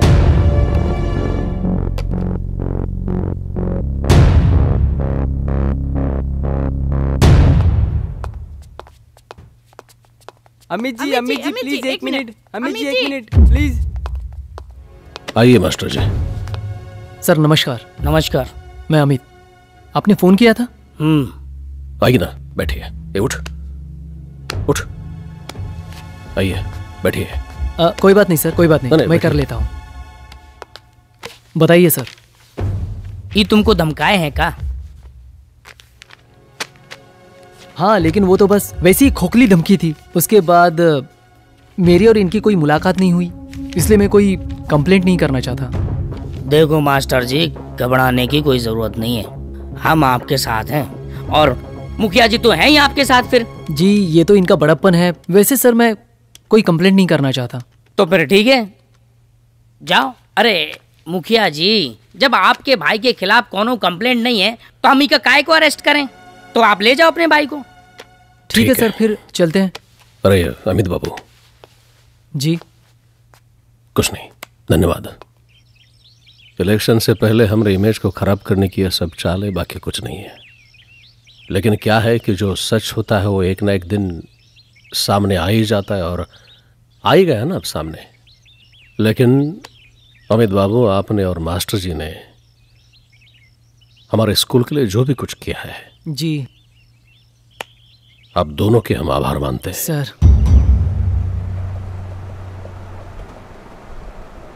तुम्हारा मुँह क्यों ऐसा बना हुआ है? तो क्या करें। ऐसा हाल में नाचे का। कहा हुआ तुरे हाल को? हमारे मना करने के बाद भी जिस तरह से तुमने कांड किया उससे तो हमारा मुँह बनना चाहिए था। तो जूते से मार लेते फिर? हुँ? मारे ना मीडिया वालों के सामने एक थप्पड़?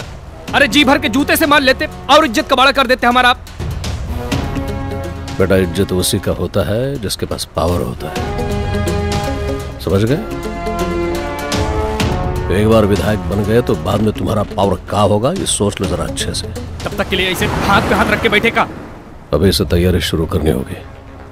काय की तैयारी भैया? भरोसा है ना? तो अब शांत बैठ जाओ।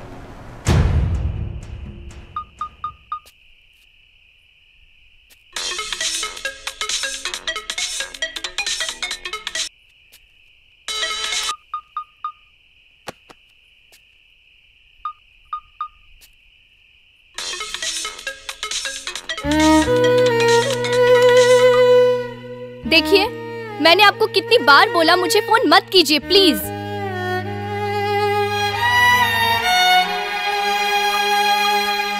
ओ यारा, राज दिल के मेरे, होने लगे निगाहों से बयां। मेरी राहों में करके सुबह, मेरे ख्वाबों में भर के दुआ।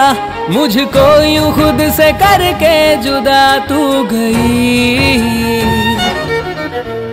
बहते पानी सा ये लम्हा है। लेकिन ये पल यहीं पे ठहरा है।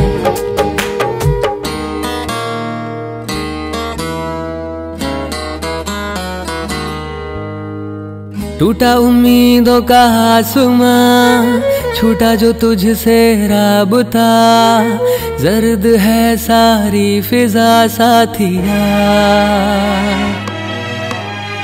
अब तो ख्यालों का काफिला, ले जाए मुझको तू जहाँ। छूटेगा जाने कब सिलसिला याद का। सब हसरतें हैं जैसे धुआँ तन्हा हुआ है मेरा जिया, अनजाने में जो मुझसे खता हो गई।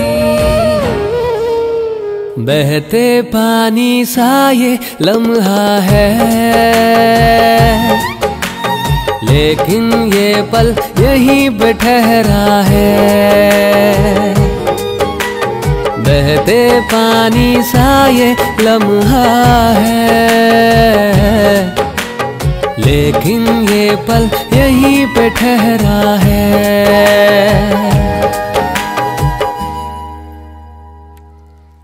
तुमको और दें। सर हम्म। पता नहीं क्यों आज तो अजीब सा लग रहा है। अजीब सा लग रहा है? हाँ सर कुछ खाने में गड़बड़ लग रही है। खाने में गड़बड़ लग रही है? कहा गड़बड़ लग रही है? आपने तो खाना टेस्ट किया है ना? हाँ। कोनो गड़बड़ लगा खाने में? नहीं। यहाँ से बनाते हैं खाना। खून पसीना एक करके।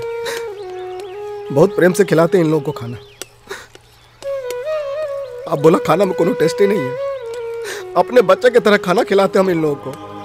देखो खाना मैंने खुद टेस्ट किया है। खाने में कोई दिक्कत नहीं है। इसलिए नाटक नौटंकी करने की ज़रूरत नहीं है। ठीक है? तुम लोग खाना खाओ और दूसरे बच्चों को भी खाना खाने दो। और हाँ खाना कोई बर्बाद नहीं करेगा। आप सबको मेरा प्रणाम।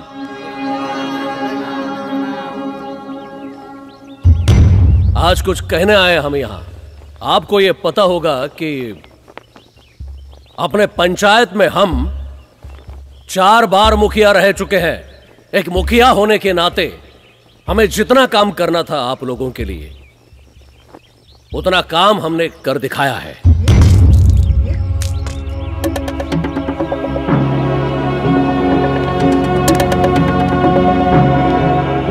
सर सर वो बच्चा लोग को क्या हुआ बच्चों को?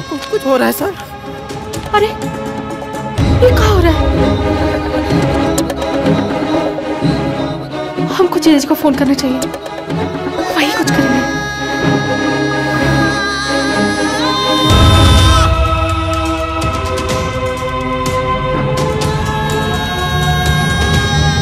लेकिन शायद आप लोगों को यह पता नहीं है कि मुखिया ये जो पद है ये बहुत ही स्कूल से पुनीता का फ़ोन आ रहा है बार बार हम क्या कर रहे देख रहे हो ना? अरे स्कूल में कुछ प्रॉब्लम हो गया है। चालू है। क्या प्रॉब्लम है? आप चिंता मत करो, हम अभी आते हैं। गाड़ी निकल, चल। चल। आप लोगों से माफ़ी मांगते हैं। अभी अभी बहुत ही बुरा समाचार आया है। हमारे स्कूल के जो बच्चे हैं, वो मिड डे मील खाते ही बीमार पड़ गए हैं। रैली छोड़कर हम जाना नहीं चाहते हैं, लेकिन रैली से ज़्यादा इंपॉर्टेंट अगर हमें कुछ है तो हमारे स्कूल के बच्चों की जान है। आप लोगों से विनती है कि जिन जिन लोगों के पास गाड़ी आए वो हमारे साथ चले, ताकि उन बच्चों को अस्पताल ले जाने में आपकी मदद हो जाएगी। विनती कर रहे हैं।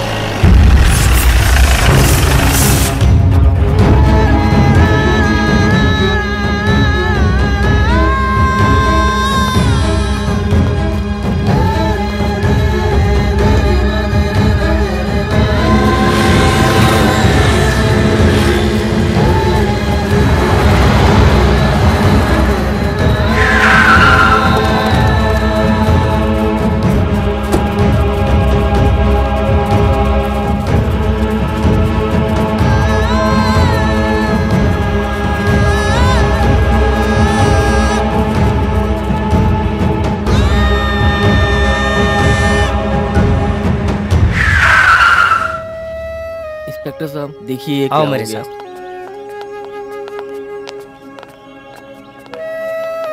देखिए हम सही कह रहे हैं कि हम कोनो गड़बड़ी नहीं किए खाना बनाने में। आप पूछ लीजिए अमित जी से। अमित जी भी तो खाना खाए। हाँ मैंने खुद ही टेस्ट किया था खाने में कोई दिक्कत नहीं थी। और अगर कुछ गड़बड़ी होता तो इन पर असर नहीं होता क्या? आप ही बताइए ना। बताइए। कैसे असर होगा अगर इन्होंने सब कुछ किया है तो? क्या कह रहे हैं आप? सही कह रहे हैं हम। बच्चों के खाने में इन्होंने कुछ मिलाया था। ये ये झूठ ये झूठ है। आप मुझ पर झूठा इल्ज़ाम लगा रहे हैं। अरे झूठ और सच का फैसला तो अदालत में होगा। फ़िलहाल तो इस केस के प्राइम सस्पेक्ट आप हो। ओला ने हमें सब कुछ बता दिया है। क्या क्या बता दिया इसने सब कुछ? क्या बताया? अरे, मास्टर जी आप काहे को टेंशन ले रहे हैं? अगर ये सही होगा तो आ जाएगा वापस। ए चलो।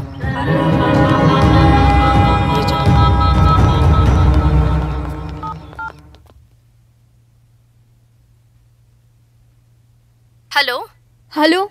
हाँ पिंकी क्या हाल है? कुछ भी ठीक नहीं है दीदी।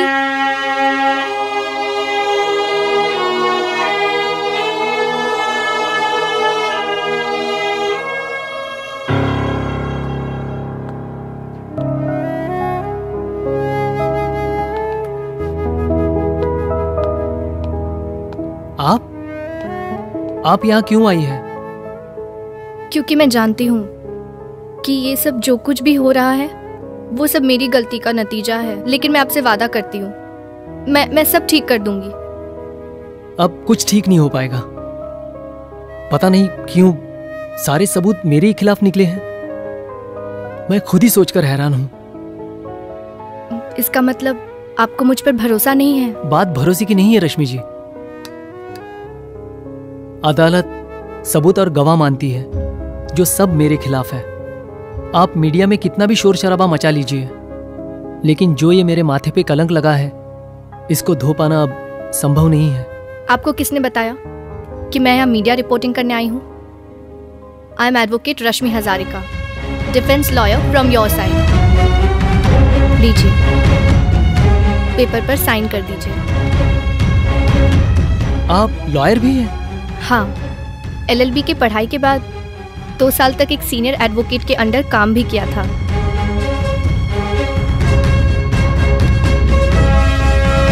थैंक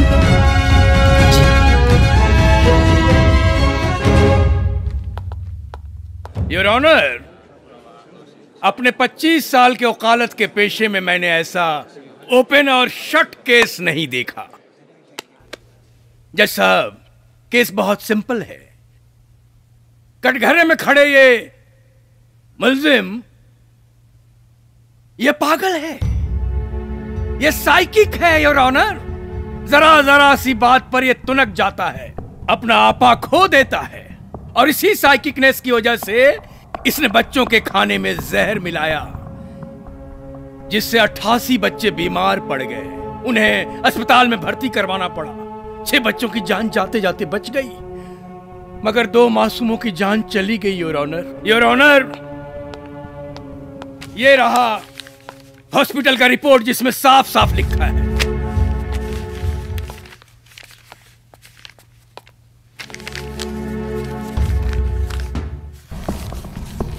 योर ऑनर, ये देखिए, ये है वो जहर की शीशी जिसका जहर बच्चों के खाने में मिलाया गया था। तलाशी के दौरान पुलिस को मुलजिम के बैग से मिला। योर ऑनर इस शीशी में पाए गए केमिकल का ये रिपोर्ट है योर ऑनर इसमें साफ़ साफ़ लिखा है कि इसी शीशी के जहर को बच्चों के खाने में मिलाया गया था जिसे बच्चों ने खाया था। अरे कैसी वकील रखे हैं आप लोग? ये तो कुछ बोल ही नहीं रही है। डोंट वरी ये अभी तो कुछ नहीं बोल रही। लेकिन जब बोलना स्टार्ट करेगी ना तो देखना सबका बोलती बंद हो जाए लेकिन कब? जज साहब फैसला सुना देंगे तब। Order order silence please your honour ये सच है कि उस शीशी में जो जहर है वो वही जहर है जो बच्चों के मिड डे मील में मिलाया गया था। लेकिन हमें ये भी नहीं भूलना चाहिए कि उस शीशी में किसी के भी फिंगरप्रिंट्स का निशान नहीं मिला। काफ़ी चालाकी से फिंगरप्रिंट्स मिटाए गए और मेरे क्लाइंट को फंसाने की साजिश की गई। और वो जहर की शीशी इनके बैग में डाल दी गई। बैग में डाल दिया गया? ऐसा कौन कर सकता है? मैं किसी का नाम तब तक नहीं लेना चाहूँगी जब तक कि उनके खिलाफ मेरे पास कोई पुख्ता सबूत ना हो। फ़िलहाल तो आपके क्लाइंट के खिलाफ सारे सबूत हैं। वकील साहिबा? कौन से सबूत? वो जहर की शीशी? जी हाँ जहर की शीशी। वो एक अहम सबूत है। त्रिपाठी जी, आप इतने जाने माने वकील हैं, लेकिन आप इतने मेच्योर कैसे हो सकते हैं? सोचने वाली बात है योर ऑनर अगर मेरे क्लाइंट ने जहर मिलाने का काम किया होता तो फिंगरप्रिंट मिटाने के बाद वो उस शीशी को कहीं भी फेंक सकते थे। वो अपने बैग में वो शीशी क्यों रखते? मतलब साफ़ है योर ऑनर इनको फंसाने की गहरी साजिश की जा रही है। अगर आपकी अनुमति हो तो मैं कुछ बोलूँ? हम्म योर ऑनर मुलजिम साइकिक है। आई ऑब्जेक्ट योर ऑनर ये बार बार मेरे क्लाइंट को साइकिक बोल रहे हैं। क्योंकि ये साइकिक है योर ऑनर और मैं अदालत में साबित कर सकता हूँ। तो साबित कीजिए ना अदालत का वक्त खामोखा क्यों बर्बाद कर रहे हैं? यस योर ऑनर मैं अदालत में कुछ गवाह पेश करने की इजाज़त चाहता हूँ। इजाज़त है। मेरे पहले गवाह हैं headmaster Dinanath.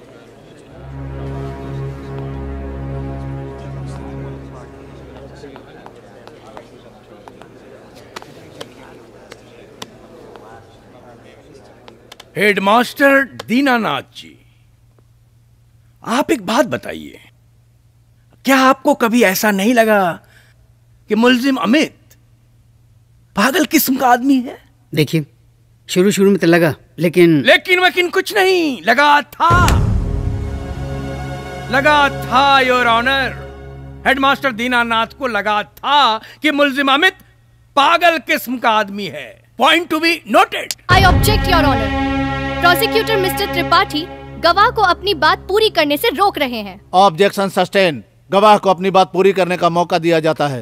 Yes your honour thanks my lord you may proceed हाँ तो हेडमास्टर साहब बताइए। देखिए जब ये स्कूल में आए उस वक्त स्कूल की हालत बहुत ख़राब थी। सिर्फ़ 20-25 बच्चे स्कूल आया करते थे। उसमें से भी कुछ बच्चे तो मिड डे मील खाकर भाग जाया करते थे। जब ये आए तो इन्होंने कहा कि स्कूल की हालत पर कुछ काम किया जाए, उसको सुधारा जाए। तब मैंने समझा कि ये किस तरह का पागलपन है। लेकिन वाकई जो इन्होंने कमाल दिखाया, उससे आज स्कूल में तकरीबन डेढ़ सौ बच्चे हैं जो पढ़ने के लिए आया करते हैं। योर ऑनर मैं चाहूँगी कि आप इन तस्वीरों को देखें। इसमें साफ़ दिखता है कि स्कूल की हालत पहले क्या थी और अब क्या है। प्लीज़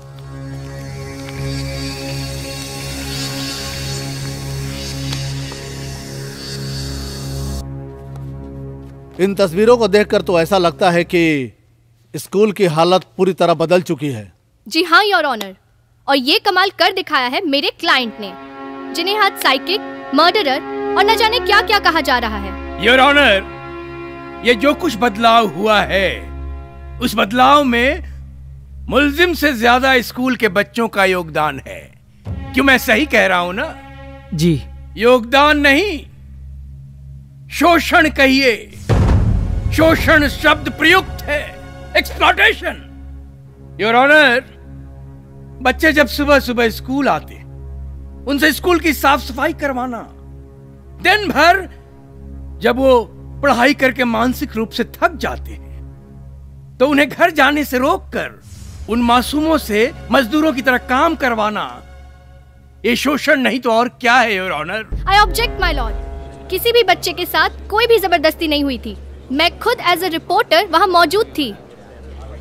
योर ऑनर वकील साहिबा स्वयं मुलजिम अमित के साथ उन बच्चों का शोषण करने में सहयोग दे रही थी। और मैं ये अदालत में साबित कर सकता हूँ योर ऑनर हाँ तो हेडमास्टर दीनानाथ जी क्या यह सच है कि स्कूल की साफ़ सफ़ाई स्कूल के बच्चे ही करते थे? जी हाँ बच्चे करते थे बच्चों के साथ हम लोग भी करते थे। और खास तौर पर अमित। कौन क्या करता था ये सवाल नहीं है। सवाल सीधा है कि क्या बच्चे साफ़ सफ़ाई करते थे? जी हाँ करते थे। योर ऑनर इनके स्कूल और इनके जैसे लगभग सारे प्राइमरी स्कूलों में साफ़ सफ़ाई के लिए किसी भी स्वीपर और प्यून की नियुक्ति नहीं है। इसके बाद बस तीन ही ऑप्शंस बचते हैं। पहला या तो स्कूल को ऐसे ही गंदा छोड़ दिया जाए। दूसरा टीचर खुद आकर पहले पूरी स्कूल की साफ़ सफ़ाई करे और उसके बाद पढ़ाना शुरू करे। या तीसरा बच्चे मिलकर स्कूल की साफ़ सफ़ाई करें। इनके स्कूल में बच्चे ही नहीं, टीचर भी मिलकर सुबह साफ़ सफ़ाई करते हैं। तो ऐसे में इनका स्कूल तो आइडियल स्कूल में काउंट होता है, जज साहब। Ideal school? ओहो! तो आइडियल स्कूल में बच्चों से साफ़ सफ़ाई करवाया जाता है। वाह! अगर आइडियल स्कूल में ये होता है तो योर ऑनर मैं तो अपने बच्चों को ऐसे स्कूल में कभी ना डालूं। आप डालेंगे जज साहब? इस केस का इससे कुछ लेना देना नहीं है। लेना देना है योर ऑनर लेना देना है। जब हम और आप अपने बच्चों को ऐसे स्कूल में नहीं डाल सकते तो फिर ये आइडियल स्कूल कैसे हुआ? मैं बताती हूँ। योर ऑनर हम सबके घरों में बच्चे हैं। और बच्चे घर में छोटे मोटे कामों में हमारा हाथ भी बटाते हैं। ये एक संस्कार है जो बच्चों को बचपन में दिए जाते हैं। लेकिन अगर यही संस्कार एक स्कूल में दिखते हैं तो मिस्टर त्रिपाठी जैसे लोग उसको शोषण का नाम देते हैं। योर ऑनर बच्चों से मजदूरों वाला काम करवाना संस्कार है? हाँ है। अगर बच्चों के साथ खुद मिलकर काम किया जाए तो।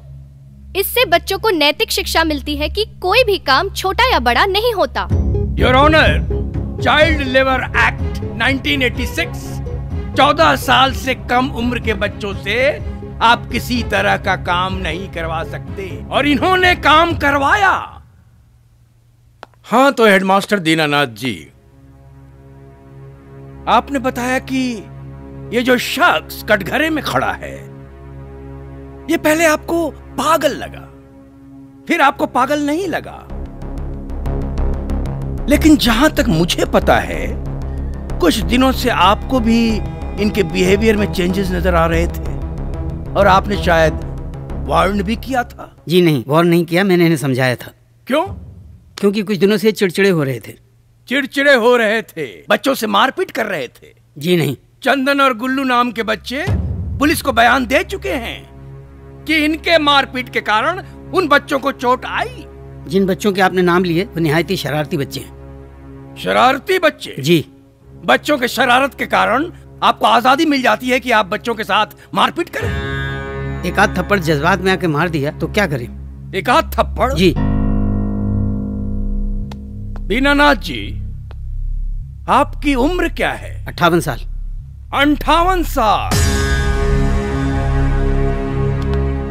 शायद बढ़ती उम्र के कारण आपकी यादाश्त कमज़ोर हो गई है। खैर, मैं आपको याद दिलाता हूँ।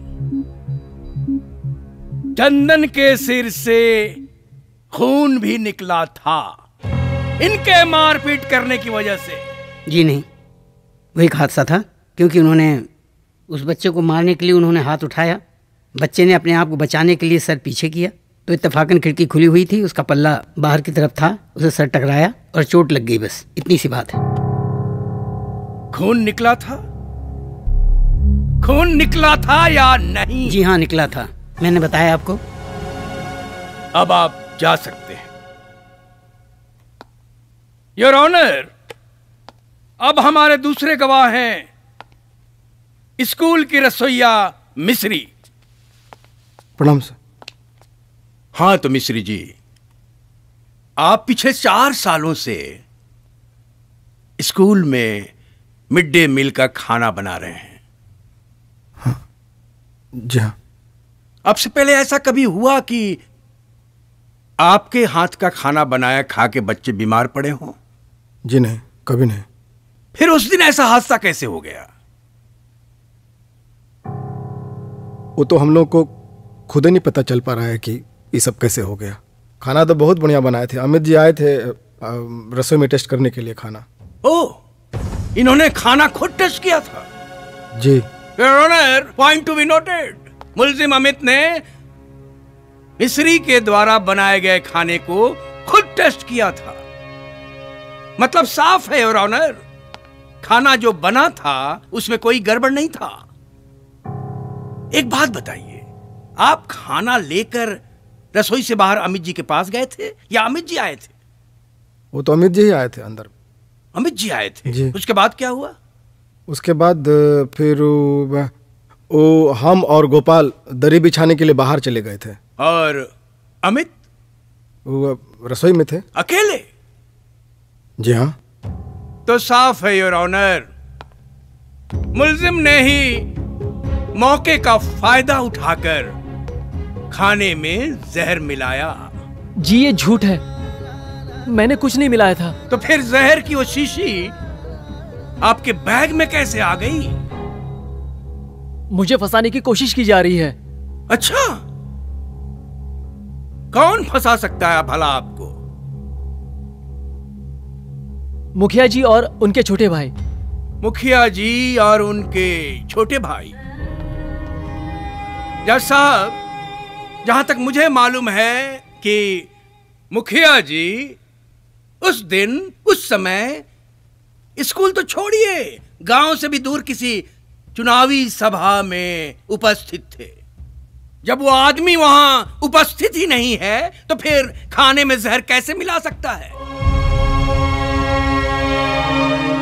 जी मुझे मालूम नहीं। मुझे मालूम नहीं। जज साहब इन्हें कुछ मालूम ही नहीं है। जज साहब, अब तक अदालत में ये साफ़ हो चुका है।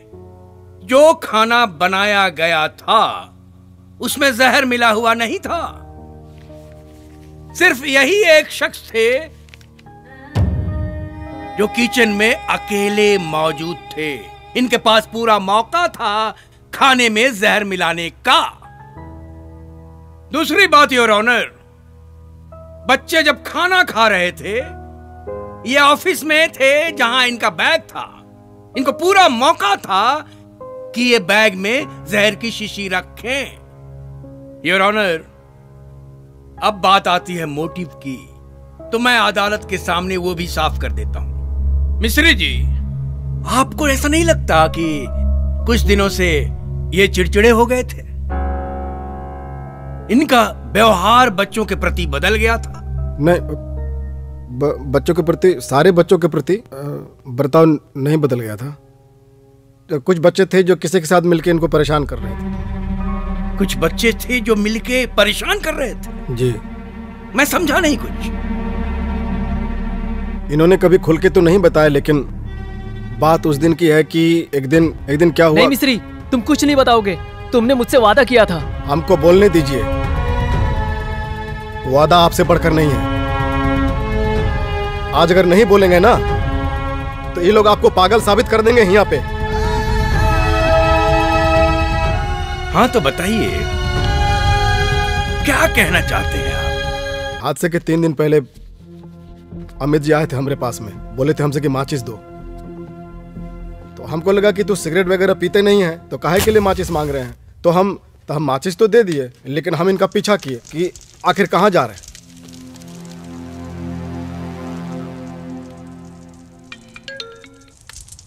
हाँ सर। हमें दो मिनट में आया।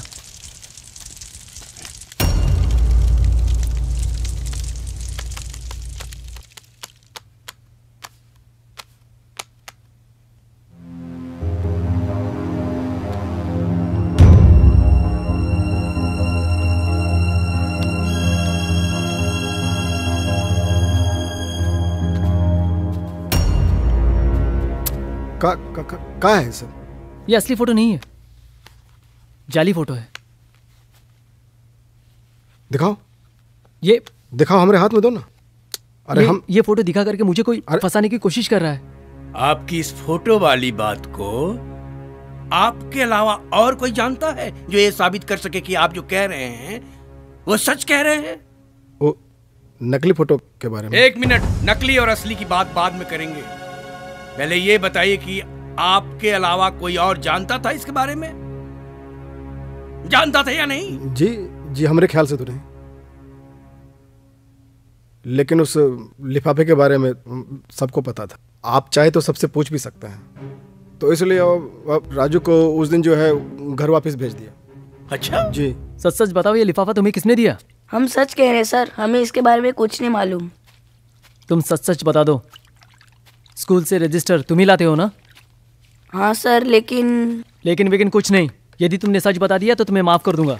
हम सच कह रहे सर। हमें तो ये भी नहीं पता था कि रजिस्टर के अंदर लिफाफा रखा हुआ था। जो भी हो सच सच बता दो। मैं तुम्हें माफ़ कर दूँगा। सर हम पर भरोसा कीजिए। जाओ यहाँ से। लेकिन वैसा ही लिफाफा मिला फिर स्कूल में। तो सबको ये पता चल गया कि इसमें राजू शामिल नहीं है। लेकिन इसके पीछे किसका हाथ है घिनौना साजिश है इसके बारे में कोनो पता नहीं चल पाया है अभी। इसलिए वो बच्चों को बुला के धमकाए थे। जी। ठीक है। आप जा सकते थैंक यू जी कहाँ जाए? इस तरफ़। योर ऑनर अब हमारे अगली गवाह हैं पुनीता जी जो स्कूल में पढ़ाती हैं टीचर हैं।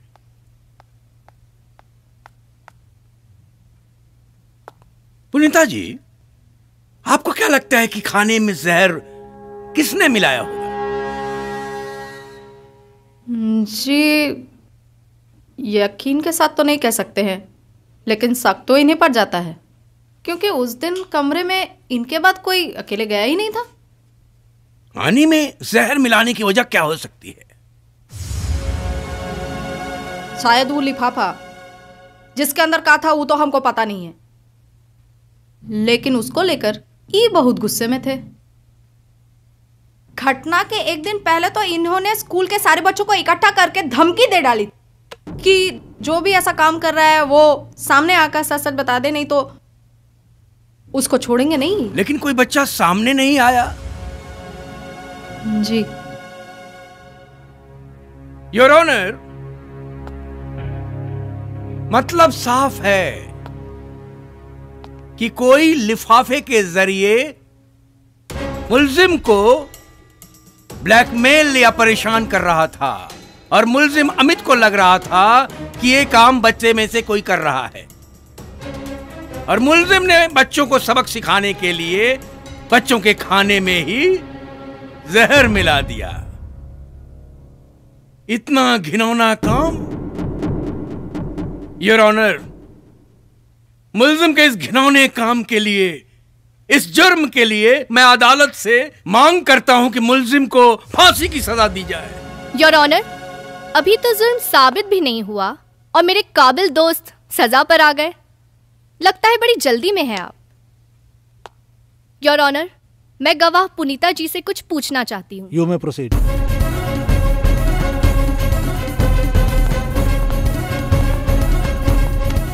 हाँ तो पुनीता जी आपको ऐसा क्यों लगता है कि एक साइकिक या पागल किस्म का आदमी इतनी सफ़ाई से खाने में जहर मिला देता है कि किसी को कुछ पता ही नहीं चलता? अरे ये कोनो पागल उगल नहीं है। ये तो बहुत चालाक है। इनको गुस्सा भी नहीं आता है। लेकिन जब आता है तो बहुत खतरनाक आता है। अच्छा तो इनके खतरनाक वाले गुस्से की कोई एग्ज़ाम्पल होंगी आपके पास? हाँ? क्या? आप उधर क्यों देख रही हैं? आपने अभी बोला ना कि इनको बहुत खतरनाक वाला गुस्सा आता है तो एक दो एग्ज़ाम्पल दीजिए कुछ तो याद होगा। हाँ हाँ। तो बताइए। अरे वो वो अपने स्कूल का बच्चा है ना चंदन? उसको तो इन्होंने इतना मार मारा था कि उसके तो सर से खून बह गया था। आपको कोई एक दो और घटना याद होगी? हाँ ये तो अक्सर बच्चों को स्कूल से घर ही वापस भेज देते थे। अरे, इनका बस चलता तो वो गुल्लू का नाम ही कटवा देते स्कूल से। पता नहीं इनको उससे क्या खुंदक था वो तो बेचारा इनके क्लासरूम से ज़्यादा बाहर ही खड़ा रहता था। तनी को कुछ किया नहीं, ले जाके बाहर खड़ा कर देते थे। ठीक है, अब जा सकती है। योर ऑनर पुनीता जी की बातों से ये साफ़ होता है कि अगर मेरे क्लाइंट को किसी बच्चे पर गुस्सा भी आता था तो फिर वो उनसे मारपीट करने की जगह उनको क्लासरूम से बाहर निकाल देते थे या फिर उस दिन के लिए स्कूल से ही बाहर निकाल देते थे। यानी जो खतरनाक वाले गुस्से की वो बात कर रही थी वो बात सच नहीं है। और हाँ योर ऑनर अभी तो इस केस से जुड़े एक दूसरे एंगल को टच भी नहीं किया। दूसरा एंगल मतलब? मतलब ये कि मुलजिम को इस केस में फंसाकर किसे सबसे ज़्यादा फ़ायदा हो रहा था? योर ऑनर ऐसी कोई बात नहीं है। अभी तक तो सारे सबूत और गवाह मुलजिम के खिलाफ ही है। लेकिन कोई भी सबूत या गवाह पुख्ते तौर पर ये साबित नहीं करता कि मेरे क्लाइंट ने ही ये घिनौना काम किया है। लेकिन ये ज़रूर साफ़ है कि इनके पीठ पीछे कोई साजिश रच रहा है। कौन रच सकता है योर ऑनर मुखिया Gajraj Pratap Singh. I object your honour objection overrule thank you your honour मैं इस साजिश का पर्दाफाश करने के लिए मुखिया गजराज प्रताप सिंह को कटघरे में बुलाने की इजाज़त चाहती हूँ। इजाज़त है।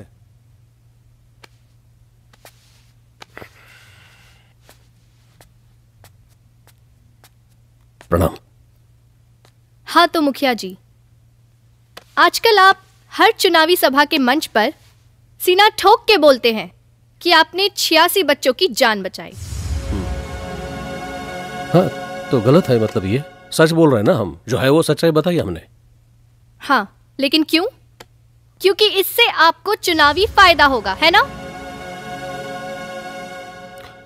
अभी आप कहना क्या चाहते हैं? मतलब बच्चों के खाने में जहर हमने मिला दिया और हमें बचाने आ गए जी हाँ। ऐसे कैसे? लेकिन बस अंतर यही है कि आपने वो जहर खुद नहीं बल्कि किसी दूसरों के हाथों मिलवाया। I object your honour defence lawyer अपने क्लाइंट को बेगुनाह साबित करने के लिए मन गढ़ंत कहानियाँ बनाकर एक शरीफ आदमी को बदनाम करने की कोशिश कर रही हैं। योर ऑनर आप प्लीज़ थोड़ी देर के लिए इन्हें शांत बैठने का आदेश दीजिए क्योंकि अब मैं इस केस से जुड़े सबसे इम्पोर्टेंट फैक्टर पर बात करने जा रही थी।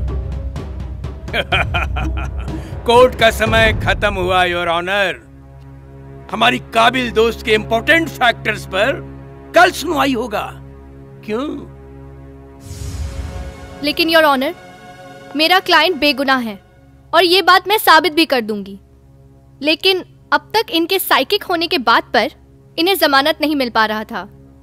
लेकिन अब तक के पेश हुए सारे गवाहों ने माना है कि ये साइकिक नहीं है। इनके मानने या न मानने से क्या होता है योर ऑनर मानना तो अदालत को चाहिए।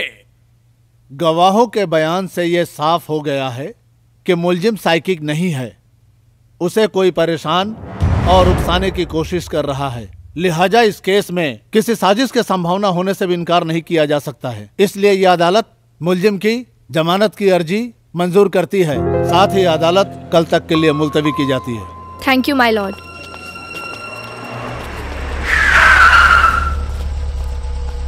अरे संभाल के उतरिएगा। ठीक हाँ, है। हाँ।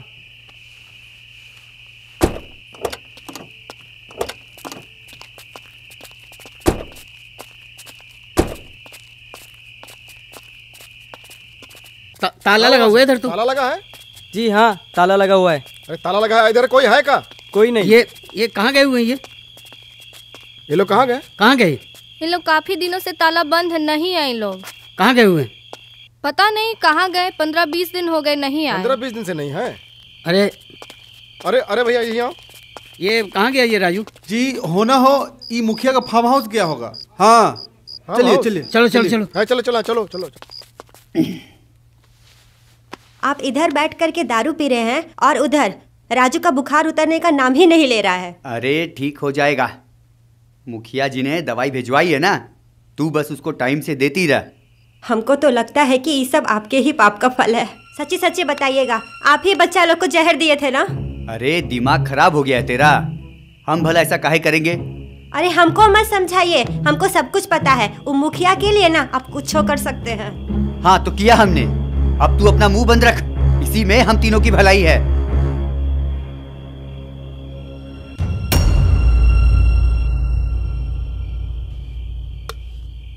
अबे तो मुर्गी का नहीं खाते हुए कौन हो सकता है अभी? चल देखते हैं। चल।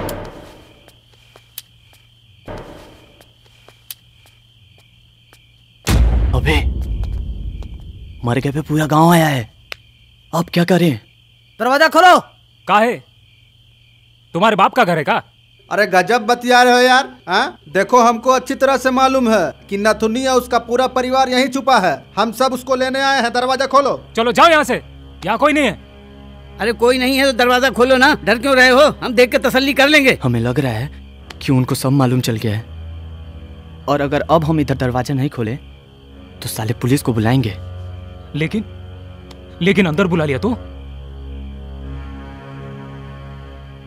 ये है ना? अरे हम काहे छुपेंगे? आओ सब देख के तसल्ली कर लो। चलिए सर चलिए, चलिए, चलिए, चलिए, चलिए सर। चलिए चलिए। अरे दरवाज़ा क्यों बंद कर दिया? साहब क्योंकि अब यहाँ से कोई भी बाहर नहीं जाएगा। नथनी और उसके परिवार को इन्होंने यहीं छुपा रखा है। सही कह रहे आप। ए संभाल के। और अब ना तुम सब अपना मुँह बंद रखो। नहीं तो तुम सबकी जान का हत्यारा मैं हो जाऊँगा। सर वो देखिए नथुनी। कहाँ?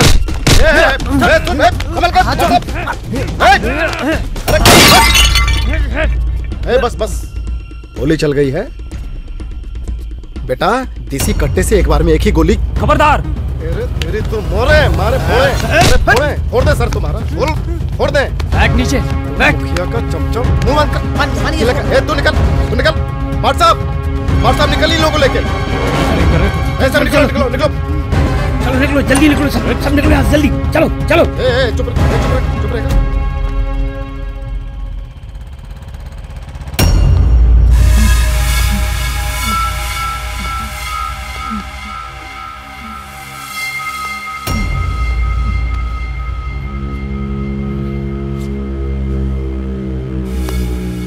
नथुनी कहाँ रे उका तो वो मास्टर साहब अपने साथ ले गए छः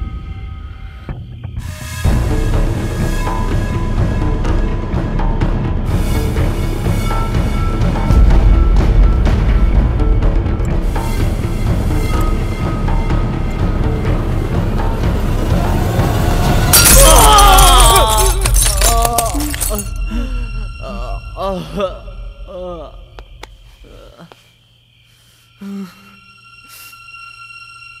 जब वो बुढ़वा लेके जा रहा था तो क्या झाल बजा रहा था रे? आय?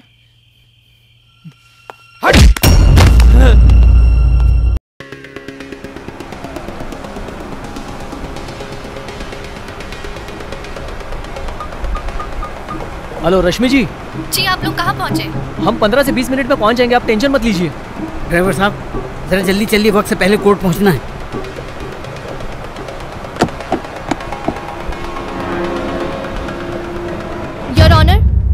आज मैं अदालत में एक ऐसा गवाह पेश करने जा रही हूँ जिनके आने के बाद पूरा केस ही क्लियर हो जाएगा। तो बुलाइए ना।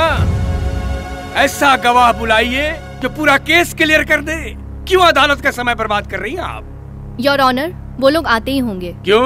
आपने अदालत का समय नहीं बताया था उन्हें? योर ऑनर कोई नहीं आने वाला क्योंकि ऐसा कोई गवाह है ही नहीं।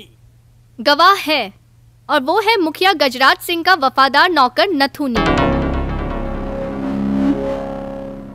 एक बात बताइए मुखिया गजराज सिंह का वफादार आपका वफादार कब से हो गया? क्योंकि उसको अपनी गलती का पछतावा है। ओह! आप तो पहले ये पता करिए कि आपका गवाह अदालत में आया है या नहीं।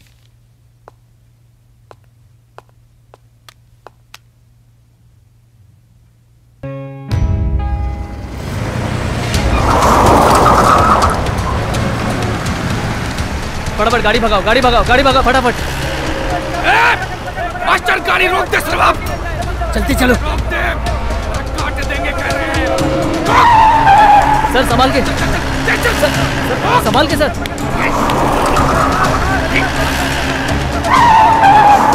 रोक दे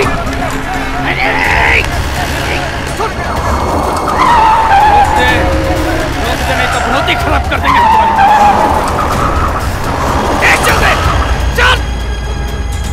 जल्दी जल्दी।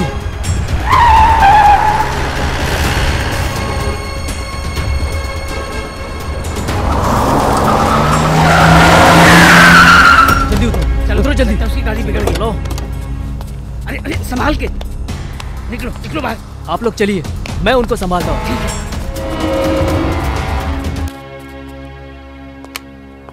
योर ऑनर उनका फ़ोन नहीं लग रहा। और मुझे लगता है कि उनके जान को खतरा है। योर ऑनर लगता है कि मैडम पूरी तैयारी करके आई हैं। पहले तो इन्होंने अपने क्लाइंट जो कि केस का मेन एक्यूज है, उसका जमानत करवाया। फिर वही एक्यूज एक गवाह लेकर आने वाला था अदालत में। न एक्यूज आया, न गवाह। मुझे तो योर ऑनर ऐसा लगता है कि मौके का फ़ायदा उठाकर इनका क्लाइंट मुलजिम अमित फरार होने की कहीं कोशिश तो नहीं कर रहा है।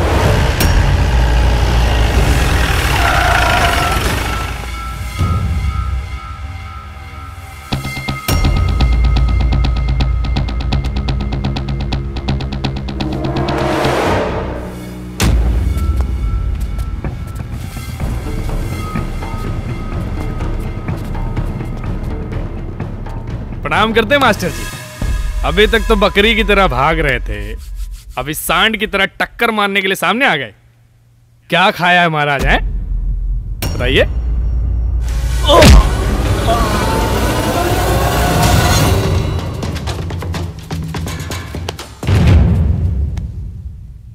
इसका ऐसा मुँह कुचो कि इसकी अम्मा भी नहीं पहचान। पका ससुर को।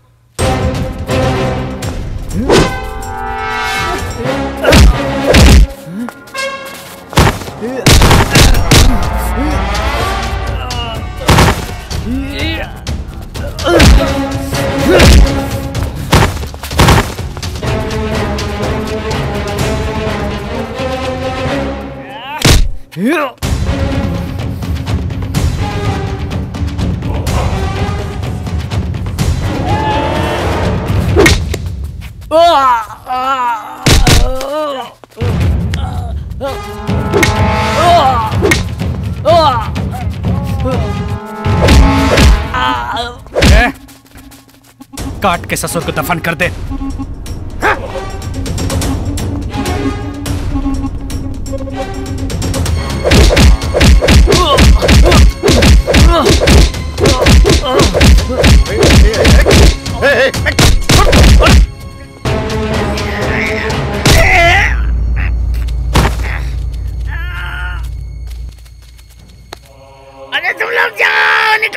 अरे मार साहब तो गिर गए। अब क्या करें?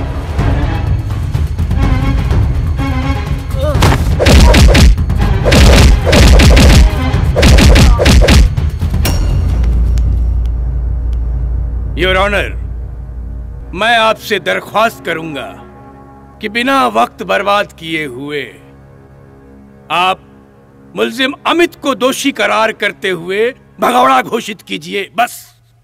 ये अदालत डिफेंस लॉयर को ये हिदायत देती है कि एक घंटे के अंदर आप गवाह को और मुलजिम को अदालत में पेश करें। नहीं तो मुलजिम को भगाने की साजिश में डिफेंस लॉयर के ऊपर भी केस चलाया जाएगा। यह अदालत एक घंटे के लिए मुलतवी की जाती है।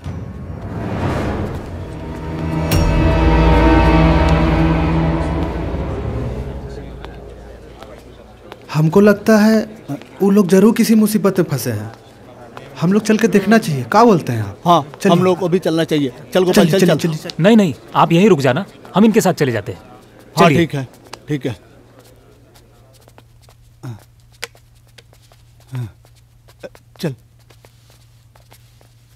कैसे हैं आप।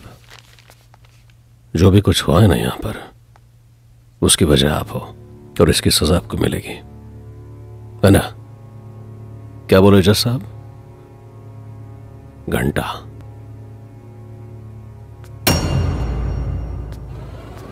आइए।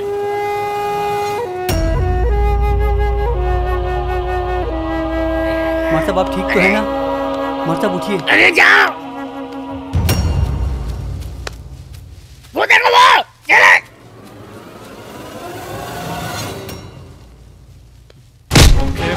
अरे छोड़िए छोड़िए हमसे गद्दारी किया हमसे गद्दारी किया तू हाँ?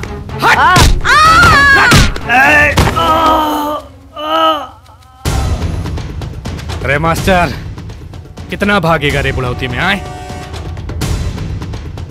बोल बोल। भाग बुढ़े उठ। भागना। उठ। भाग। नहीं भागेगा। उठ उठ। जगह नहीं तू भाग। क्या हुआ!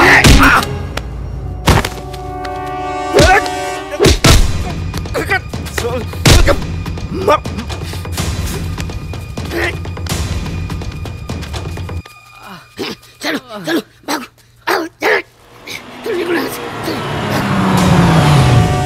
चल। बैठ बैठ जल्दी। चल चल। चल। चलो, चल चल आइए बैठिए, जल्दी जल्दी बैठिए। योर ऑनर आपने एक घंटे का टाइम दिया था। डेढ़ घंटे होने को है। गवाह तो दूर मुलजिम खुद फरार है योर ऑनर मेरे ख्याल से अदालत को और प्रतीक्षा नहीं करना चाहिए। तुरंत अदालत को, मुलजिम को सजा सुनाना चाहिए। डिफेंस को समय देने के बावजूद भी वो गवाह को अदालत में पेश नहीं कर पाई। और तो और मुलजिम को बेल करा करके उसको फरार करने में उसकी मदद की है। लिहाजा ये अदालत रुकिए 120 भी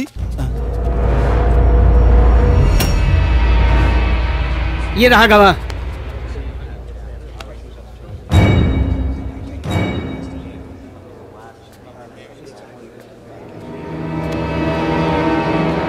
जय साहब मुखिया जी के कहने पर हमने ही बच्चों के खाने में जहर मिलाया था लेकिन हम झूठ नहीं बोलेंगे रुको रुको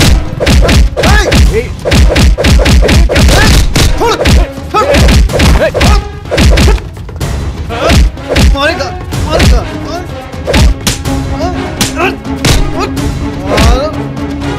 आप कैसा लगा रे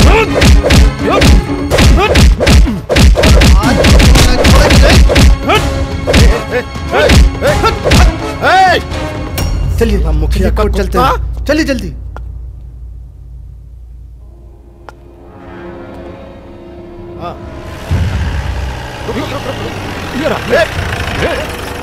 पकड़ो पकड़ो पकड़ो। डालो ससुर गाड़ी। हमारी उस गलती से दो मासूम बच्चे मारे गए। हम तभी से काफ़ी घुटन महसूस कर रहे थे जज साहब। लेकिन मुखिया जी ने हमें हमारी जोरू और बच्चे के साथ कैद करके रख दिया था। माई बाप आप ही बताइए हम क्या कर सकते थे।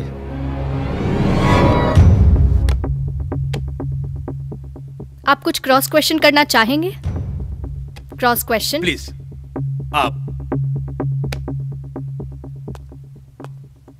हाँ तो नथुनी जी ऐसा कैसे हो सकता है कि आपने बच्चों के खाने में जहर मिला दिया लेकिन आपको किसी ने देखा भी नहीं? जज साहब स्कूल का रसोई घर का खिड़की दिन में खुला ही रहता है। हमने एक लकड़ी में उस जहर का शीशी बांधकर खिड़की में से ही दाल में जहर मिला दिया था। क्या दाल खुली रखी थी? जी नहीं पहले हमने उस लकड़ी के सहारे दाल पे रखे ढक्कन को हटाया और फिर उसमें जहर मिला दिए। और वो जहर की शीशी? वो अमित सर के बैग तक कैसे पहुँची? वो जब सब हॉस्पिटल गए थे तो ये पुनीता मैडम चुपके से स्कूल का चाबी ला के हमको दे दी थी। और हम स्कूल जाकर उस शीशी को अच्छे से पोंछकर अमित बाबू का बैग में रख दिए थे। और उस लिफाफे या फ़ोटोज़ के बारे में कुछ बताना चाहते हो? जिसके ज़रिए अमित को साइकिक या पागल करार करने की कोशिश की जा रही थी? जी नहीं जज साहब हमको उसके बारे में कुछ नहीं पता। उसके बारे में ये बताएगा।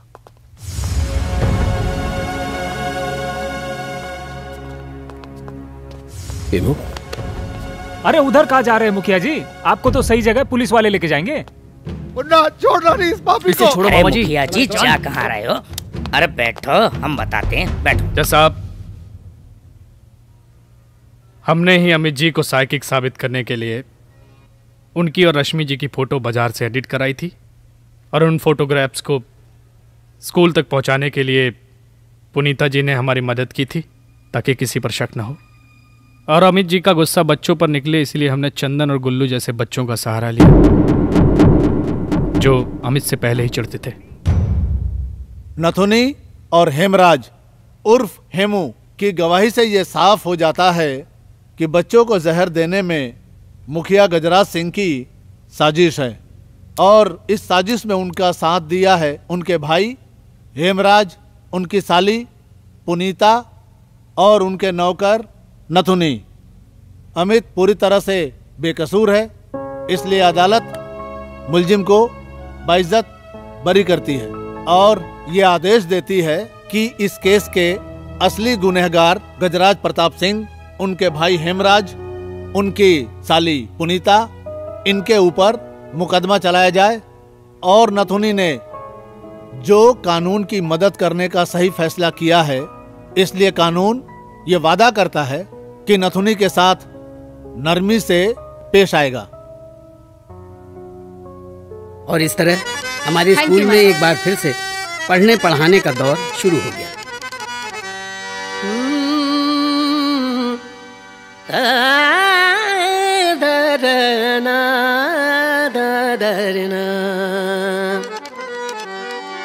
अपने स्कूलवा का देखो असर। अरे अपने स्कूलवा का देखो असर, अब पढ़ने लगा है। ललन मोरा ललन मोरा ललन मोरा, अंग्रेज़ी, हिंदी, गणित सब पढ़ने लगा है। ललन मोरा, अंग्रेज़ी, हिंदी, गणित सब पढ़ने लगा है। ललन अंग्रेज़ी हिंदी गणित सब पढ़ने लगा है।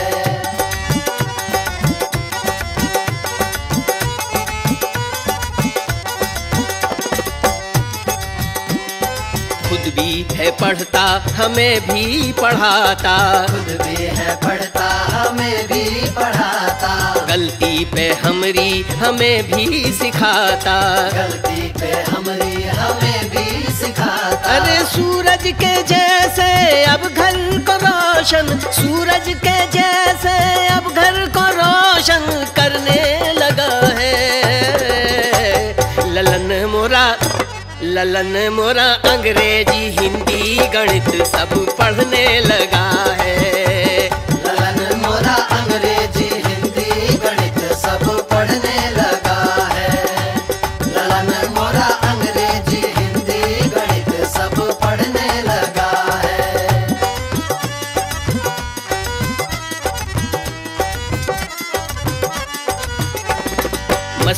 में उसके कमी भी तो ना है। मस्ती में उसके कमी भी तो ना है। लेकिन पढ़ाई में मन तो लगा है। लेकिन पढ़ाई में मन तो लगा है। अरे अब हर परीक्षा में उसका भी नंबर अब हर परीक्षा में उसका भी नंबर बढ़ने लगा है। ललन मोरा ललन मोरा अंग्रेज़ी हिंदी गणित सब पढ़ने लगा है।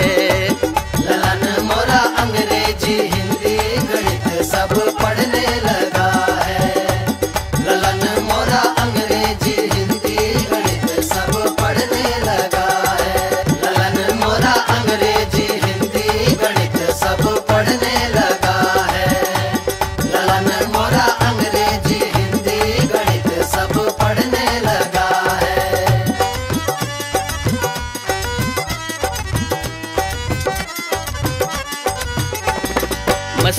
में उसके कमी भी तो ना है। मस्ती में उसके कमी भी तो ना है। लेकिन पढ़ाई में मन तो लगा है। लेकिन